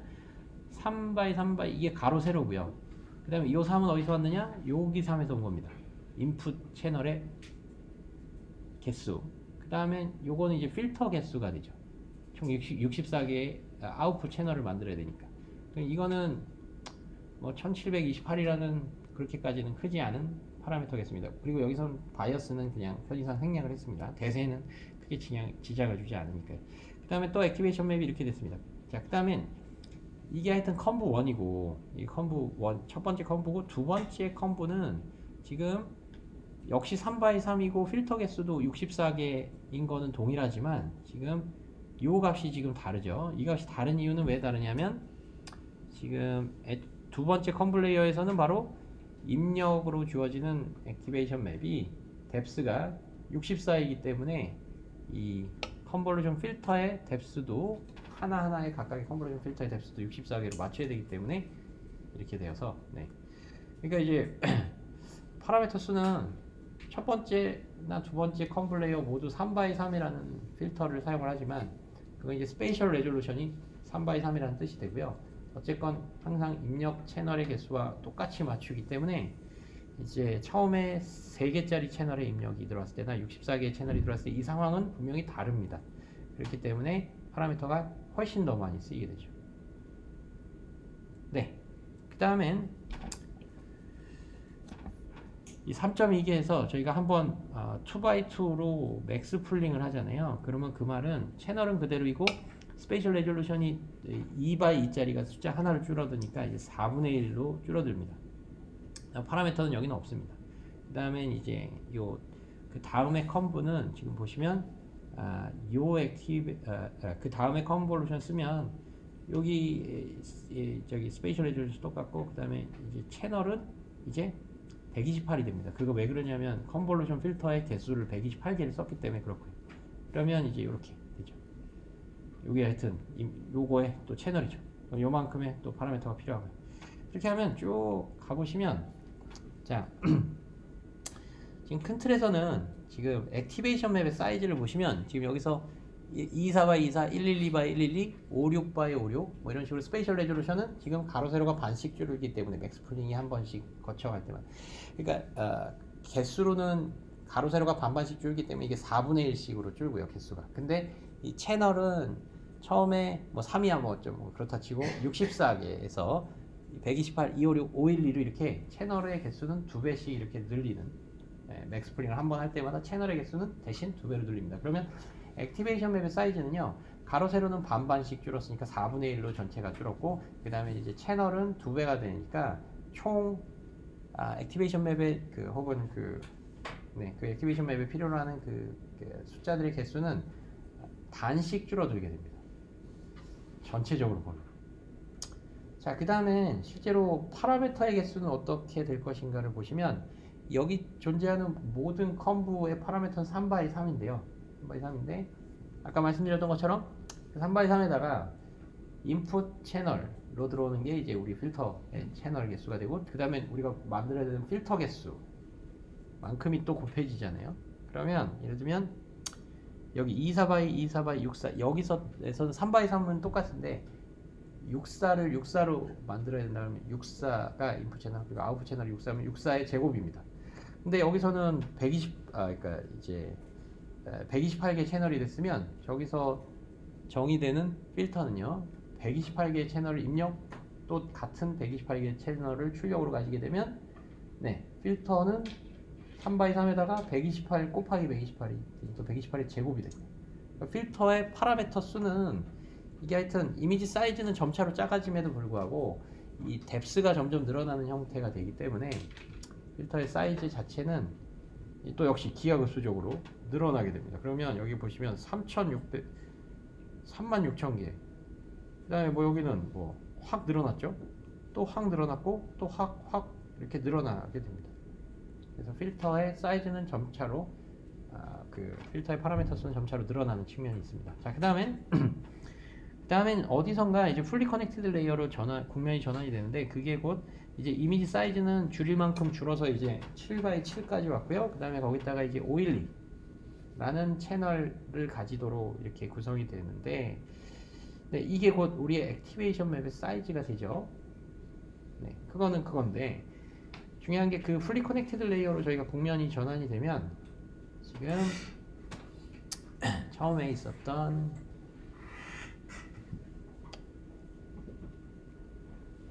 지금 요거 있잖아요. 그러니까 conv 뭐 어찌됐건 fully connected layer로 국면이 전환이 되면 저희가 이때 당시에 얻어진 그 activation map에 있는 그 값들을 그냥 한 줄로 쭉 피잖아요. 그래서 이제 하나의 벡터를 구성을 하고 그다음에 아웃풋은 또 우리가 원하는 개수를 설정을 하는 거죠. 그럼 그때 필요로 하는 파라미터는 뭐냐면 예를 들면 여기가 이제 노드가 다섯 개가 있고 여기가 세 개가 있다. 이 fully connected를 막 이렇게 했을 때 여기 layer에서 구성된 파라미터 개수는 당연히 이제 5 곱하기 3이잖아요.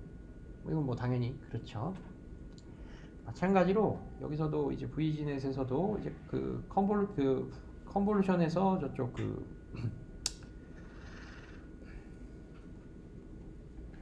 네, fully connected로 국면이 전환될 때는 지금 이만큼에 해당하는 activation map의 사이즈가 그냥 모조리 다 인풋 벡터의 dimension이 됩니다. 그 다음엔 아웃풋이 지금 이제 fully connected layer에서는 이제 4096개로 지금 첫 번째 FC1 layer를 구성을 했습니다. 아웃풋을요. 그러면 지금 보시면 이게 아웃풋 노드의 개수고요. 인풋 노드의 개수가 바로 7x 7x 512 만큼의 인풋 노드의 개수가 필요한 거지. 얘네들이 쭉 펴진 채로의 입력 벡터가 될 테니까요. 그러면 이게 지금 곱해 보면 지금 이만큼이 되는 거죠. 이만큼은 지금 여기까지 있었던 어떤 여기 계속 그래도 기하급수적으로 커졌잖아요. 그 convolution 각각의 layer에서 필요로 하는 파라미터 개수가 커졌는데 이거는 뭐 한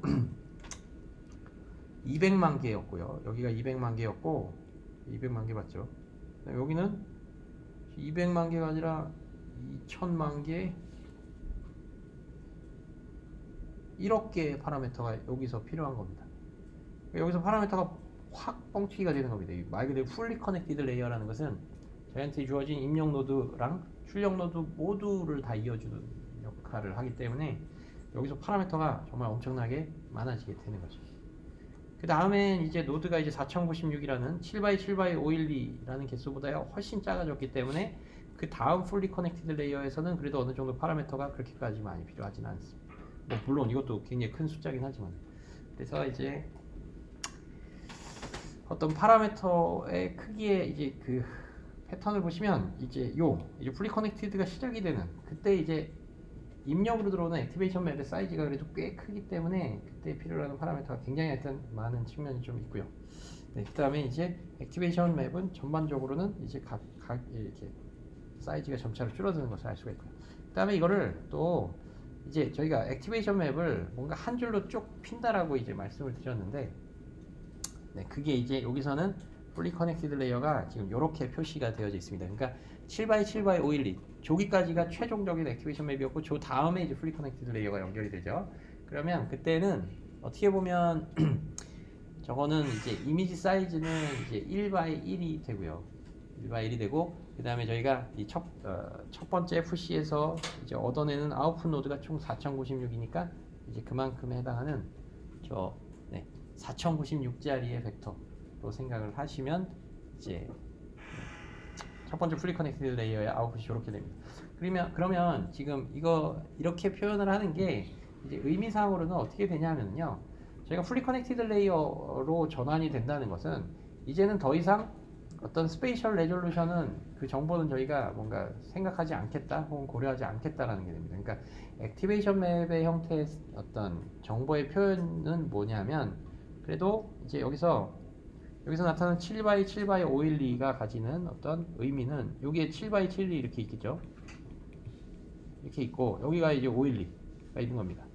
그러면 애초에 저희가 원래 갖고 있던 224 by 224 by 3이라는 이게 있으면 여기 있는 얘는 이제 224가 이제 7이라는 레졸루션으로 확 줄은 거잖아요. 그러면 7, 3, 21, 7, 2, 14 이제 여기에 있는 한 픽셀이 어떻게 보면 여기에 있는 32by 32개의 픽셀을 대, 이렇게 약간 대표한다 아니면 이 region을 나타내고 있는 것이고요. 그래서 여기서 지금 생각할 수 있는 이 512개의 서로 다른 그 전 layer에서 conv에 의해서 뽑아진 저 512개의 서로 다른 값은요. 지금 오리지널 이미지의 예, 요 자리가 지금 하여튼 이 가장 왼쪽 위에 있는 32by 32라는 이 넓은 영역에서 이제 어떤 패턴들이 나타났는가에 대한 그 정도를 512개의 서로 다른 기준 혹은 그 패턴에 따라서 이제 나타내고 있는 표현형인 겁니다. 그 다음에 이제 요두 번째 있는 역시 마찬가지로 여기에 있는 또 옆에 블락인 32by 32에서 또 나타나는 여러 512개의 서로 다른 기준에 의해서 저희가 그, 네, 아, 검출해낸 그 패턴의 정도가 되는 것이고요. 그러면 이 표현형은 일단은 이 이미지를 굉장히 코arse하게 나타내긴 했지만 그래도 아, 이제 각 위치별로 나타내고 있는 어떤 위치별로 512개의 서로 다른 dimension으로 나타내고 있는 표현형이 되는 것인데 이거 fully connected layer로 전환이 되면 더 이상은 이제 위치 정보가 없이 그냥 이게 그냥 어떻게 보면 하나짜리의 벡터로서 여기가 4096이라는 그냥 어떻게 보면 이제 1by 1, 이 이미지 전체가 전체가 그냥 한 픽셀로 줄어든. 그래서 더 이상은 이게 뭐 예를 들면 왼쪽 위에 뭐가 세게 나타났고 오른쪽 아래에 뭐가 약하게 혹은 세게 나타났다 이런 이제 위치를 전혀 구분하지 않는 형태의 벡터 표현형이 되어서 그때는 이제 spatial resolution이 그냥 1by 1로 줄었다라고 생각할 수가 있습니다.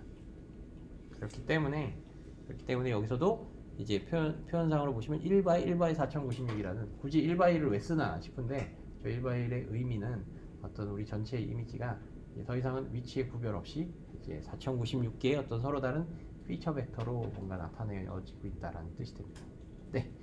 질문 있으신가요? 네, 그래서 이게 이제 VCN이시고요. 그러면 저희가 11시 15분에 다시 시작하겠습니다.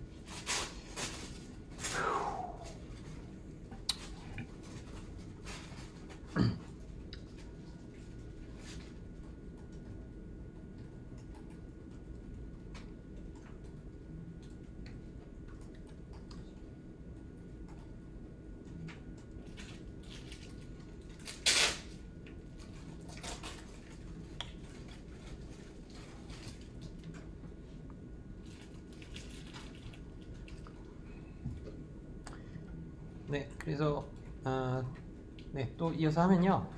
저희가 아까 제가 좀 보여드리려고 했던 것들을 마저 보여드리면 이제 요거 같은 경우 아, 뭔가 이제 엣지 디텍터로서 역할을 하는 건데 이제 에, 이 사람이 이렇게 손가락을 이렇게 하는 거든요. 이게 지금 뭔가 수평인 엣지를 스스로 한번 생성을 해본 겁니다. 그리고 이거는 뭐 이 비디오 input을 가지고 아, 이 conv one layer에 이제 필터 activation을 보여주는 것이 되고요. 이 손가락이 그래도 제일 좀 네, 세게 나타난 저 위에 있잖아요.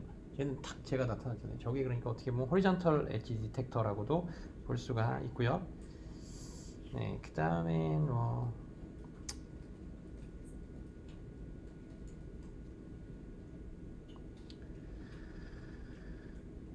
네, 요 지금 요거 종이는 지금 종이는 보시면 네, 종이는 이게 지금 저 종이를 갖다 했을 때 저 이제 vertical edge가 굉장히 명확하게 저 이제 node에 저저 convolution activation map에서 잡히는 것을 알 수가 있고 저게 이제 vertical edge detector로서 역할을 하는 것입니다. 그 다음에 좀 뒤쪽에 있는 layer는 지금 보시면 네 이게 지금 뭐냐면 아이고 지금 이 사람의 얼굴이 있을 때 저 여러 이제 저 conv 5 layer의 필터들 중에서 이제 지금 딱 저 하이라이트 된 쟤 쟤가 그냥 확대돼서 여기 보이는 건데요. 이제 저게 보시면은 저 roughly 저 얼굴 근처에서 activation이 좀 확 된 것을 알 수가 있습니다. 그러면 저거는 뭔가 사람 얼굴 디텍터라는 거죠. 네, 그래서 이제 또 다른 사람이 또 등장을 이렇게 하니까 갑자기 이제 또 네, 여기 보시면 이렇게 딱 저 사람의 얼굴에 해당하는 부분도 확 좀 액티베이션이 되는 것을 알 수가 있, 있고요. 그래서 이제 나름 또 얼굴 그거를 또 알 수가 있고 지금 보시면 또 약간 이게 흥미로운 것 중에 하나는 이 중에 어떤 것은 conv layer 5에서 어떤 것은 지금 보시면 지금 이 책을 이렇게 했는데 지금 이 저게 책이 중요한 게 아니라 지금 각각의 이제 여기서 보시면 저런 문자열들 있잖아요. 저 문자열들이 이미지상에 나타났을 때 뭔가 문자열에 대해서 highly activated 되는 필터가 또 있다는 겁니다. 그래서 저 conv 5의 저 이제 저, 저 초록색으로 하이라이트된 제가 뭐냐면 결국 이제 뭔가 이제 이미지상에서 어떤 문자열이 등장을 했을 때의 그 문자열이 뭐든지 간에 이제 그거를 이제 디텍트를 또 해주는 필터라고 생각할 수 있습니다.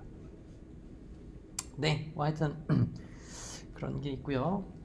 저희가 그러면 VG까지 이제 했고 그 다음에 이제 저희가 또 나오는 것이 이제 구글넷인데요. 아, 근데 이제 이 convolution 필터가 그러면 과연 저런 여러 이제 optimal한 패턴들 아니면 유의미한 패턴들을 추출하도록 필터의 그 coefficient가 그러면 어떻게 학습이 되는가를 좀 또 간단하게 이 backprop의 관점에서 말씀을 드리면요. 자.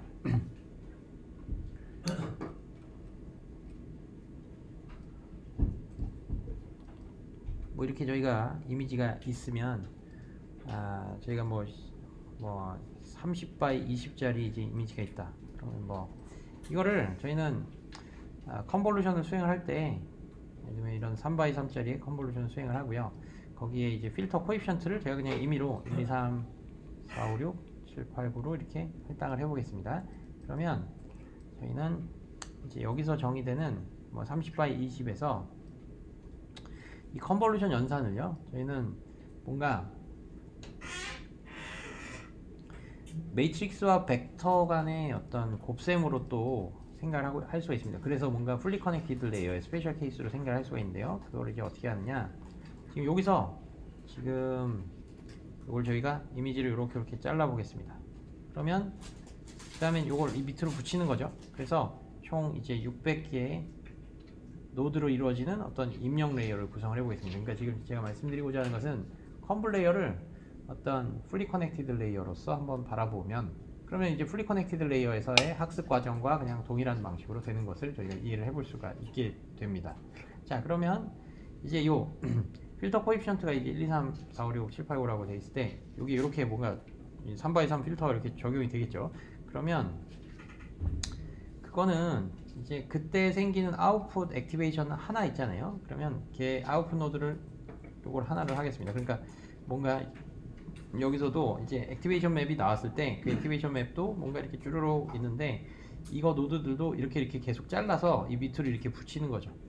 그래서 아웃풋 레이어의 그 아, activation 값들을 이렇게 네, 이런 어떤 하나의 벡터 형태로 구성을 하면 이 첫 번째 얘는요.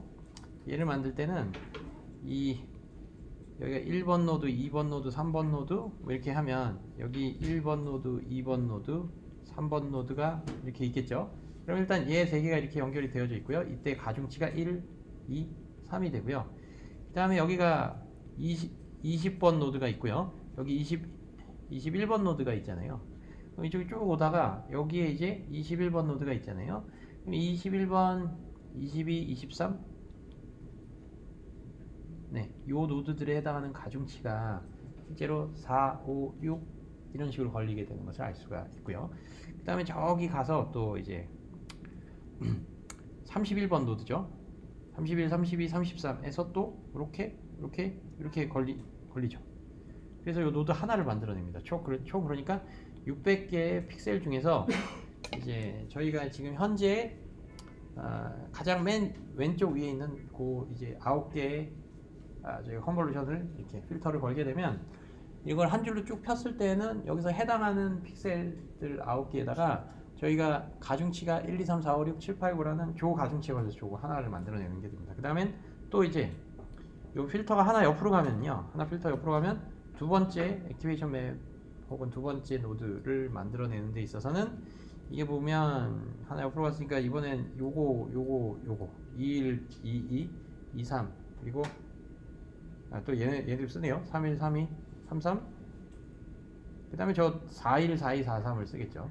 그다음에 거기서 필터 coefficient는 여기가 다시 1, 2, 3. 여기가 다시 4, 5, 6이 이렇게 될 겁니다. 그렇죠? 자, 그러면 이거는 이제 fully connected layer의 관점에서 본다면 이거는 fully 그러니까 모두 다 연결이 되어 있진 않습니다. 한 아웃풋 node당 총 9개 그러니까 그- 그리고 이거는 당연히 그 depth가 이제 1짜리를 지금 그 예제를 지금 보고 있는 겁니다. 근데 depth가 depth가 이렇게 더 이제 아, 1보다 더 큰 depth를 하더라도 뭐 이 이 지금 과정은 그대로 아, 저희가 적용이 될 수가 있거든요. 네, 그럼 어쨌건 여기서는 지금 총 9개 그 인풋 node와 이제 연결이 되어져서 이제 하나의 아, 아웃풋 node가 생성이 되게 되죠. 그러니까 9개씩 연결이 된, 된 겁니다. fully connected는 아니고요.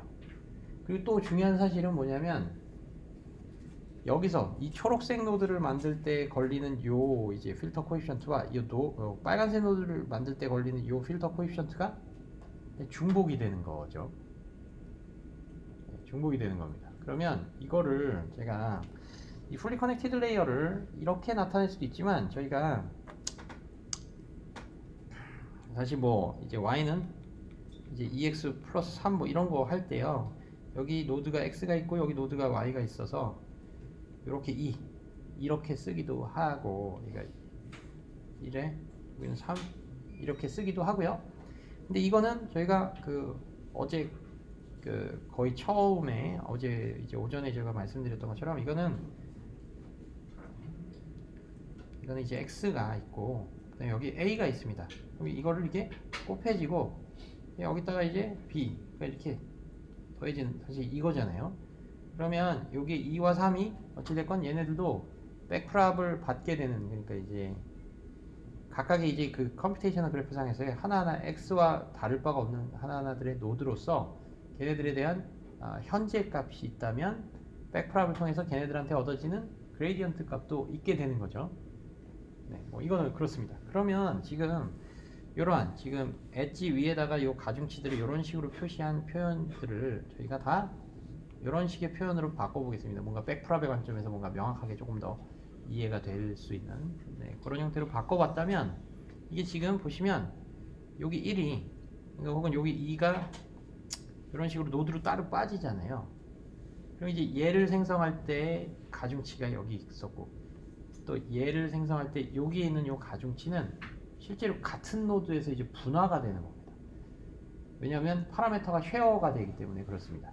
그러니까 convolution filter가 돌아다니면서 그 실제 activation map을 뽑아낸다는 것은 아웃풋 node 하나하나를 만들 때 저희가 비록 서로 다른 node에다가 이제 그 걸어주는 가중치긴 하지만 그 가중치 세트는 공통의 convolution 그 필터에 정의된 그 coefficient들이 그대로 적용이 되는 것이기 때문에 이게 parameter sharing이라는 어떤 측면이 좀 있게 되는 겁니다. 그러면 이 parameter sharing은 이게 어떻게 되냐면요.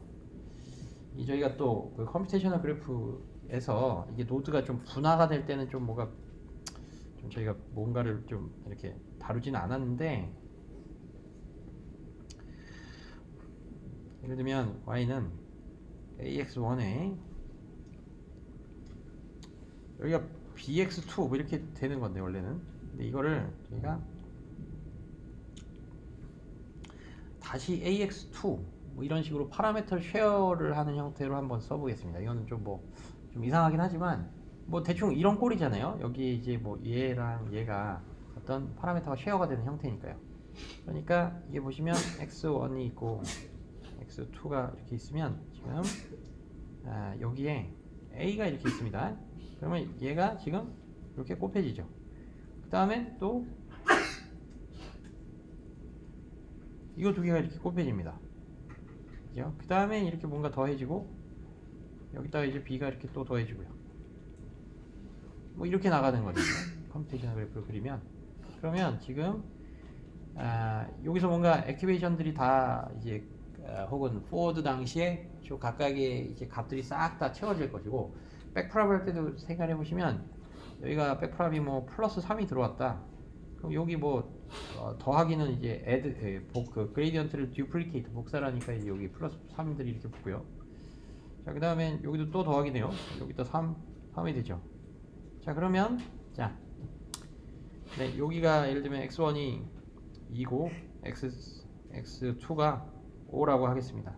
그러면 여기까지 온 gradient에다가 자, 2랑 아, 지금 요 라인에 걸리는 gradient는 3과 2가 곱해져서 이 곱하기는 서로 gradient를 switching하는 여기가 6이 이렇게 들어오고요. 그 다음엔 또 요 라인 있잖아요. 요 라인은 지금 보시면 네, x2와 a가 또 만나서 이게 저쪽으로 가면서 거기서 넘어온 gradient가 3이기 때문에 이 3과 5가 곱해지면서 바로 15가 여기 쓰여지죠. 그럼 이 경우에는 이제 A라는 공통된 node로 지금 backprop에 의한 gradient가 한 그러니까 A가 지금 그 bran- branch가 있는 겁니다. branch가 있고 각각의 branch로부터 오는 저 6과 15라는 gradient는요. 실제 이게 gradient가 합산이 되는 거거든요. 네, 그래서 node가 이제 branch가 될 때는 이 하여튼 gradient가 지금 합산이 됩니다. 그래서 저희는 A한테 발생되는 그 gradient는 실제로 21이 되는 겁니다. 그래서 그 21이라는 total gradient, 그러니까 여러 branch들로부터 이제 아, 이렇게 backprop을 통해서 넘어오는 그 gradient 값이 다 합산이 되어서 A의 총 gradient가 결정이 되고요. 그걸 가지고 이 A를 업데이트하는 거죠. 그러면 이제 여기서도 마찬가지로 이제 예를 들면 이쪽 노드에서 넘어오는 뭔가 gradient가 있고 이쪽 노드에서 넘어오는 gradient가 있습니다. 근데 이제 이 노드를 아, 네. 요 노드를 만들 때는 지금 얘, 얘 노드랑 이 1, 1에 해당하는 거를 A라고 써보면요. 예, 얘랑 얘가 이제 곱해져서 이렇게 더해진 거잖아요. 그리고 이 A가 또 얘랑 또 이렇게 곱해져서 얘로 넘어가는 거잖아요. 마찬가지로 여기서 gradient, 여기서 gradient가 이번엔 두 개의 서로 다른 아, 아웃풋 노드들로부터 온 gradient가 저쪽에 있는 1번 노드와 곱해졌을 때 여기서의 21번 노드와 곱해졌을 때 그게 gradient switcher로서 역, 역할을 해갖고 A라는 한 노드로 gradient가 다 이렇게 뭔가 모이게 merge가 되는 겁니다. 그러면 이제 네, 이걸 돌아다니면서 이제 공통된 파라미터들이 적용이 되면서 나온 activation map에서 예, 이 activation map에 해당하는 그 이제 결국 여기에 gradient 값들이 도달을 하잖아요. 그러니까 아웃풋 activation map이 있으면 그 아웃풋 activation map에 예를 들면 뭐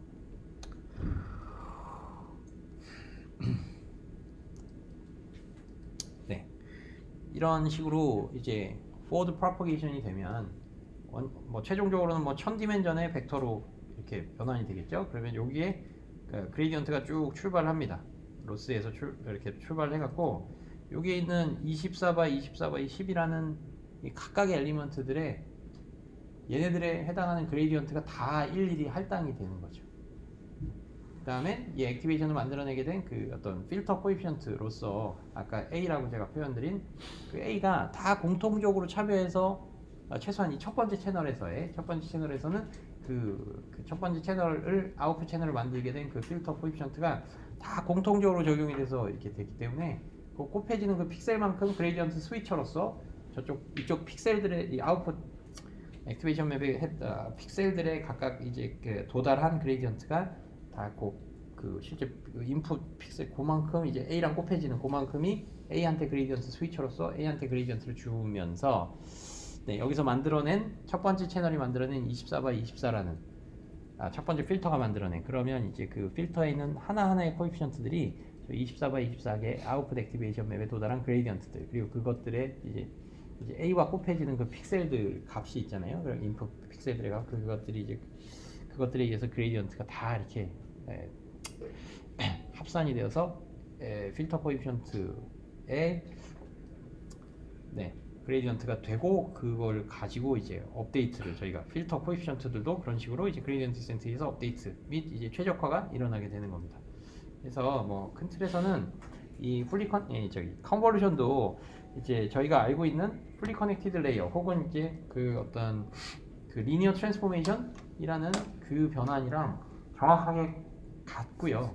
다만 이제 말 그대로 fully connected는 아니고 그 아웃풋 노드 하나당 실제로 연결이 되게 되는 그 실제로 뭐 여기 있는 모든 노드를 다 써서 액- 아웃풋 activation 하나하나를 만들어내는 게 아니라 저희가 알고 있듯이 딱 일부만 써서 만들기 때문에 그렇기 때문에 일부 connection만이 사용이 된다는 뜻이 되고요. 그 다음엔 그 옆에 거를 만들어 옆에 거를 또 이렇게 적용을 하면 또 같은 coefficient를 써서 아- 어, activation map에 또 다른 아웃풋 노드를 만들어내기 때문에 그렇기 때문에 이제 parameter sharing이라는 특성을 또 가지게 되어서 역시 뭐 그런 특별한 어떤 special case로서 볼 수 있는 그런 이제 fully connected layer에서의 이제 gradient descent를 통해서 이제 파라미터가 업데이트가 됩니다. 그래서 사실 실제로는 전혀 뭐 convolution이라고 해서 어떤 완전히 새로운 방법의 뭐 gradient descent나 뭐 업데이트 어, optimization 방법이 있는 건 아니고 네, 저희가 그냥 알고 있는 그거 fully connected layer를 그냥 사용을 해서 업데이트가 된다는 네. 네. 질문 있으신가요? 네. 그러면 저희가 다음 네트워크로서 보고자 하는 것은요. 이게 GoogLeNet이라고 하는 게 있습니다. 그래서 이거는 아까 VGGNet이랑 뭐, 그- 뭐 동시에 나온 것 같은데요. 이게 그래도 조금 더 나중 네트워크로 이제 뭔가 이야기를 하는데 뭐 하여튼 구글에서 만든 겁니다. 그리고 뭐 아까 아, VGG가 16에서 19 layer를 썼다면 이거는 이제 22 layer를 사용을 하고요. 조금 더 많아졌죠. 그 다음에 여기서는 중요한 게 이제 Inception 모듈이라는 거를 좀 사용을 하는데 Inception 모듈이 이제 뭐냐를 좀 말씀을 드리면요. 이 네트워크가 저희가 알고 있는 어떤 뭐, 뭐 fully connected layer, 뭐 convolution layer, 뭐 max pooling, 뭐, 뭐 이런 레이어들이 이제 다양하게 존재하는데 하는데 저희는 이런 뭔가 저희가 알고 있는 기본 아, 모듈에 해당하는 것들을 어떤 형태로 조합을 합니다. 그리고 그거는 뭐 이렇게 브랜칭의 형태로 하고 또 이런 시퀀셜한 형태로 쌓는 형태로 조합을 하기도 합니다. 어찌됐건 그래서 하나의 조금은 이제 기본 빌딩 블록들로 만들어진 어떤 아, 이제 하나의 모듈을 저희가 정의를 하면 저희는 이 모듈이 마치 하나의 단위 layer처럼 생각을 하면 이 기본 모듈을 계속적으로 쌓는 겁니다. 그걸 주장창 쌓는 거죠.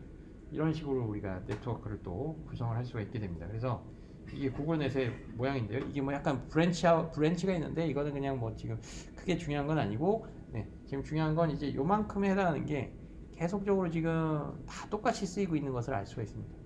그래서 저게 어떤 하나의 좀 똘똘하게 잘 만들어진 모듈을 정의를 했다면 그거를 계속적으로 쌓으면 그러면 이제 뭔가 저희가 하고자 하는 태스크가 좀 잘 동작하지 않겠나라는 게 됩니다. 자, 그리고 거기서 쓰이는 어떤 그 하나의 그 똘똘하게 정의된 그 모듈을 그 구글에서는 구글이 이제 이거를 굉장히 다양한 조합의 모듈들로 실험을 했습니다. 그러니까 한 모듈을 정의하는 혹- 혹은 한 모듈을 구성하는 그 조합을 이렇게도 해보고 저렇게도 해보고 그래서 그 수많은 경우를 한 끝에 이 이미지네 챌린지에서 이제 어, 성능이 잘 나오도록 하는 그 어떤 아, 아주 그래도 최적화된 그 단위 모듈 그래서 그 단위 모듈 잘 정의된 단위 모듈이 이렇게 만들어졌으면 그냥 그거를 그냥 편리하게 계속 쌓기만 하면 되는 형태로 이제 네트워크를 구성한 겁니다. 그래서 그 하나의 단위가 되는 모듈을 저희가 좀 살펴보도록 하겠습니다. 자, 이거는 이제 input이 이렇게 있을 때 이런 다양한 뭔가를 합니다. 그러면 이거는 이제 뭐냐면 아, 저희가 이제 이거 두 개만 보면요. 지금 필터 size가 지금 다르잖아요. 3x3이랑 5x5, 3x3은 192, 5x5는 96개가 있습니다.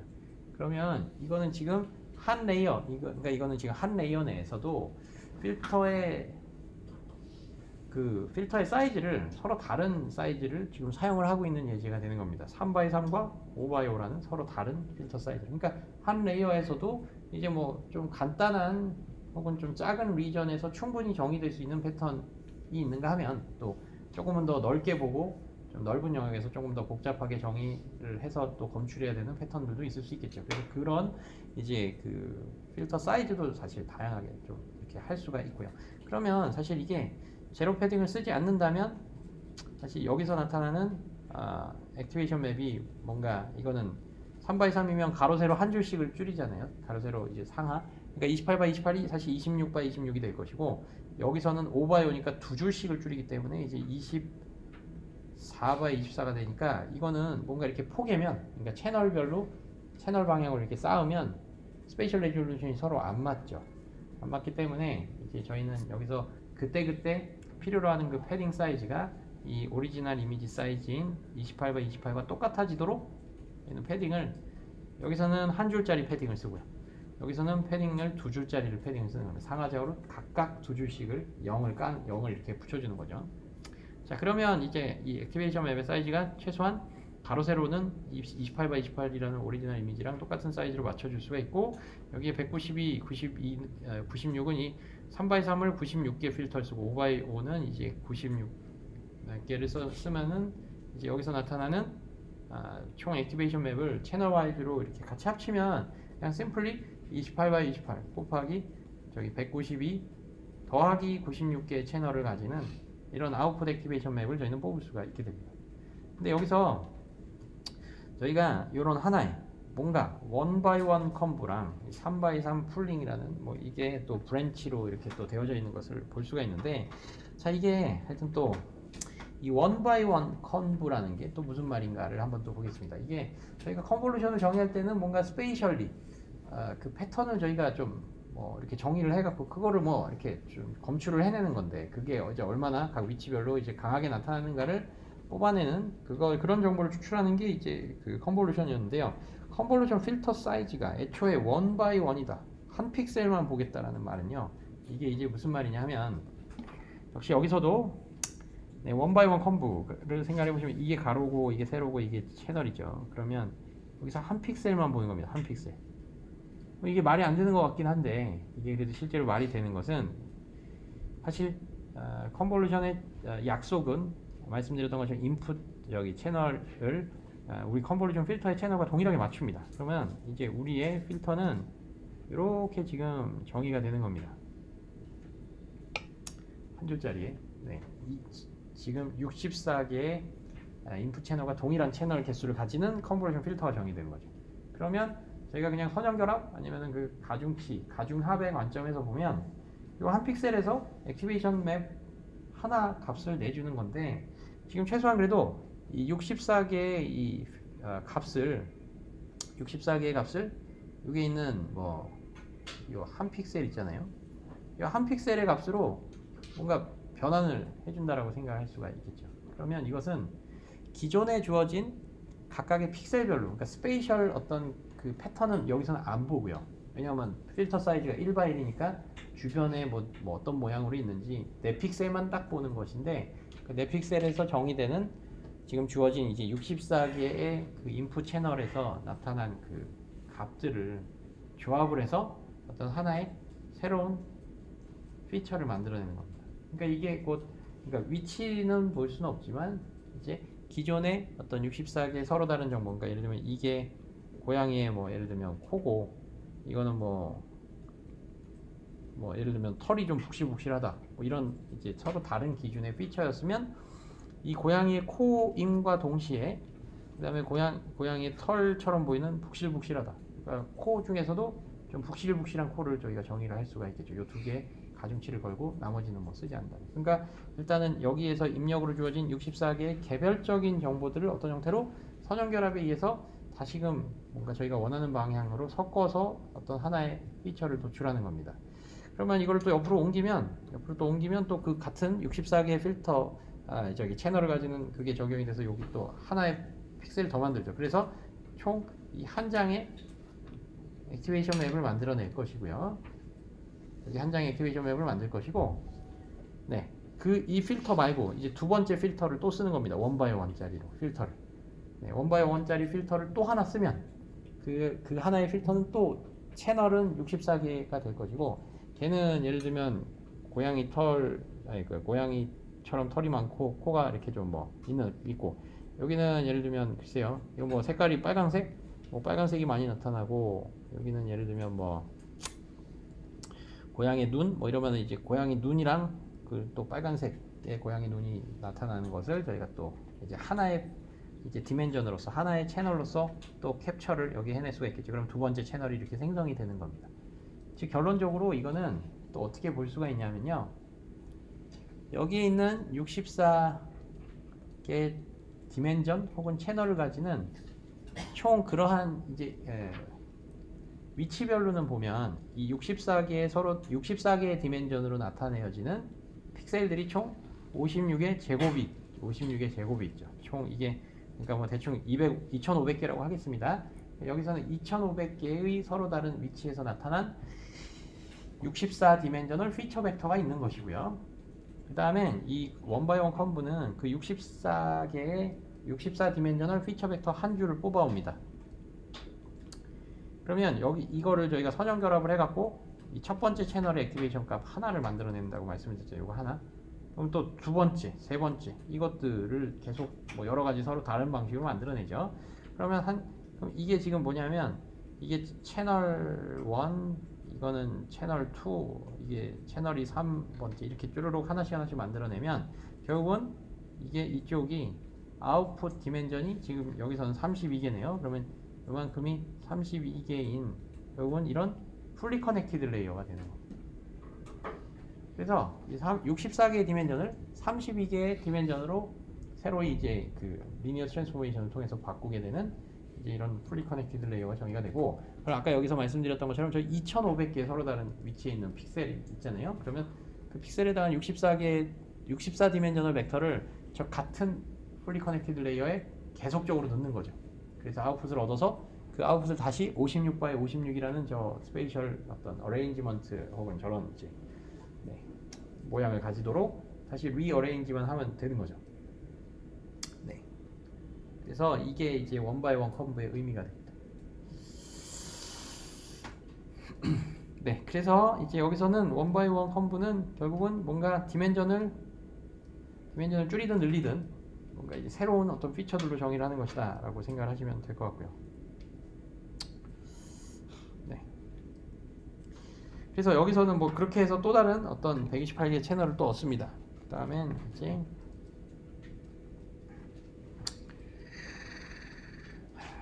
이제 max pooling은 이제 여기서도 또 한번 보겠습니다. 이 max pooling은 예, 여기서 이제 28 by 28 by 5일 256이 3 by 3으로 max pooling을 저희가 하면 이게 이미지 사이즈가 기본적으로는 3분의 1만큼으로 줄겠죠.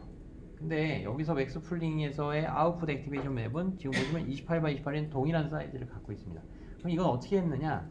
아까 이제 stride라는 개념에서 보시면 이제 3x3 max pooling을 할 때는 저희가 사용하는 stride 혹은 이 징검다리를 성큼성큼 그 폭 폭은 아, 3픽셀이었죠. 그러니까 윈도우 3x3 윈도우 간에는 서로 오버랩이 안 되게 이제 max pooling을 저희가 보통 했었습니다. 2x2도 그렇게 했잖아요. 그러니까 이제 stride 사이즈를 2로 했었습니다. 윈도우 사이즈와 똑같도록. 그런데 이제 stride 여기서도 이제 stride를 저희가 1로 하는 겁니다. 1로. max pooling을 하되 이렇게 뭔가 1짜리로 1씩 이동을 하는 거죠. 그 다음엔 또 역시 마찬가지로 여기서도 zero padding을 또 쓰는 겁니다.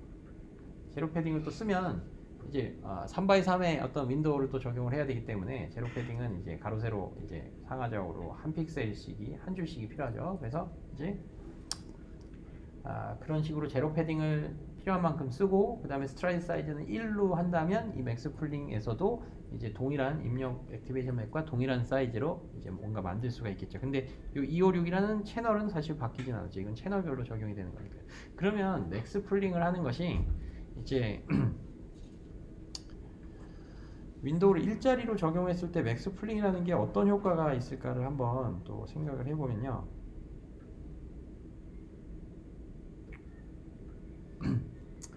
max pooling. 네, 이 네 개 있는 값을 이렇게 하나를 하는 거잖아요. 이제 여기서 2x2, 그러니까 뭐 2x2를 stride 1짜리로 한번 해보겠습니다. 그러면 여기서 이제 하나가 뭐, 네, 요 1이 나왔고요. 그 다음엔 또 요거를 윈도우가 겹치도록 이렇게 하나 옆으로 이동을 해보겠습니다. 그러면 activation map이 1 다음에 또 뭐가 나올까를 생각해 보시면 이 최대값인 이 1이 여전히 이 윈도우 어쨌건 지금 윈도우가 overlapping 되는 형태로 가기 때문에 저 최대값이 여러 번의 윈도우에 포함이 되잖아요. 그러면 거기서도 여기가 1이 이렇게 나오죠. 그렇죠? 그럼 하나 더 옮겨가면 이제는 이 1을 포함을 하지 않았으니까 거기서 나온 0.33이 나오죠. 그 다음에 이걸 밑으로 한번 이 윈도우를 이 밑으로 한번 옮겨 보겠습니다. 그러면 이 1은 다시금 또 이 2x2 윈도우에 포함이 되니까 여기서 1이 나오죠. 또 밑으로 가면 얘는 더 이상 포함이 안 되고 얼마가 나올 텐데 자, 이 윈도우를 하나 아래 하나 오른쪽으로 이동을 해보면 저 1이 또 포함이 되어져 있습니다. 그러니까 여기가 1이 이렇게 나오죠. 그러니까 이 말은 뭐냐면 아, max 값이 뭔가 나왔으니까 큰 값이 뭔가 나왔으면요. 이거를 그러니까 어찌됐건 이 activation map의 사이즈는 동일한 activation map이 나옵니다. 사이즈가. 근데 이 max pooling의 형태로 아, 윈도우 아, 그러니까 stride 사이즈를 1 1로 하고 필요한 만큼의 zero padding을 쓴, 써서 이제 인풋 activation map과 동일한 아웃풋 activation map을 만드는 경우는 이 최대값으로 어떤 특정한 위치에서 나온 그 최대값에 해당하는 그 activation 값을 주변으로 뭔가 이렇게 전파를 시켜서 이걸 좀 넓게 영역을 만들어 주는 걸로 생각하실 수가 있습니다. 그러면 이 말은 뭐냐면 저 정확하게 조 지점에서 그 패턴이 굉장히 강하게 나타나는데 이게 여기에서만 나타난 게 아니라 이 옆에에서도 그만큼 세게 나타난 것이라고 뭐 이렇게 좀 정보를 변환을 해주겠다는 뜻이 됩니다. 그러니까 그게 또 고양이 꼬리가 아주 정확하게 요 어, 포지션에서만 요 위치에서만 나타난 게 아니라 요 옆에도 고양이 꼬리가 그만큼 세게 그 주변이 그렇게 나타난 것으로 볼 수 있다가 되는 겁니다. 그래서 그런 식으로 이제 그 최대값을 그 주변으로 이렇게 좀 뭔가 전파를 해주는 식이 이제 max pooling을 이제 overlapping 위- overlapping 하는 형태로 사용을 한 게 됩니다. 네.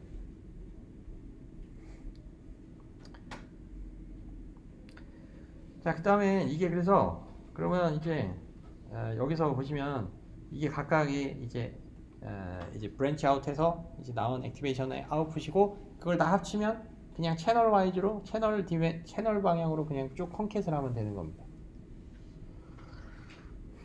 네, 이게 이제 Inception 버전 1이었고요. 이제 이게 좀 문제가 있었습니다. 문제는 바로 문제가 이제 그 계산이 좀 너무 복잡하고 이제 여기서 5 by 5짜리를 쓰려면 이게 보시면 input 채널이 256이 들어왔을 때 저기가 5 by 5 conv를 쓰면은 이게 되게 필터의 파라미터 수가 확 커지잖아요.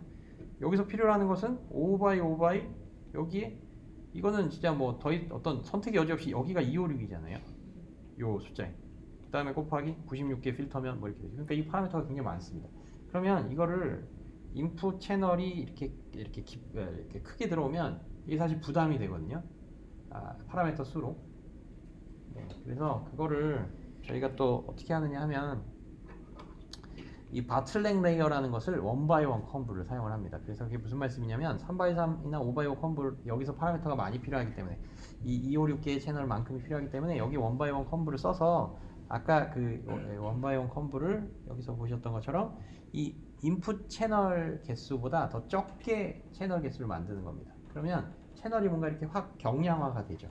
그러니까 채널이 아, 얇아졌고 거기다가 conv를 저희가 3x3이나 5x5를 적용하면 거기에 필요로 하는 이제 저희가 선택의 여지가 없는 인풋 채널 개수만큼의 그 이제 뎁스가 훨씬 더 작아지는 형태로 되게 됩니다. 그래서 이런 조금은 효율적인 요소를 좀 고려를 해서 만든 게 최종적인 뭐 인셉션 예, 혹은 구글넷에서 정의한 인셉션 모듈이라는 게 됩니다.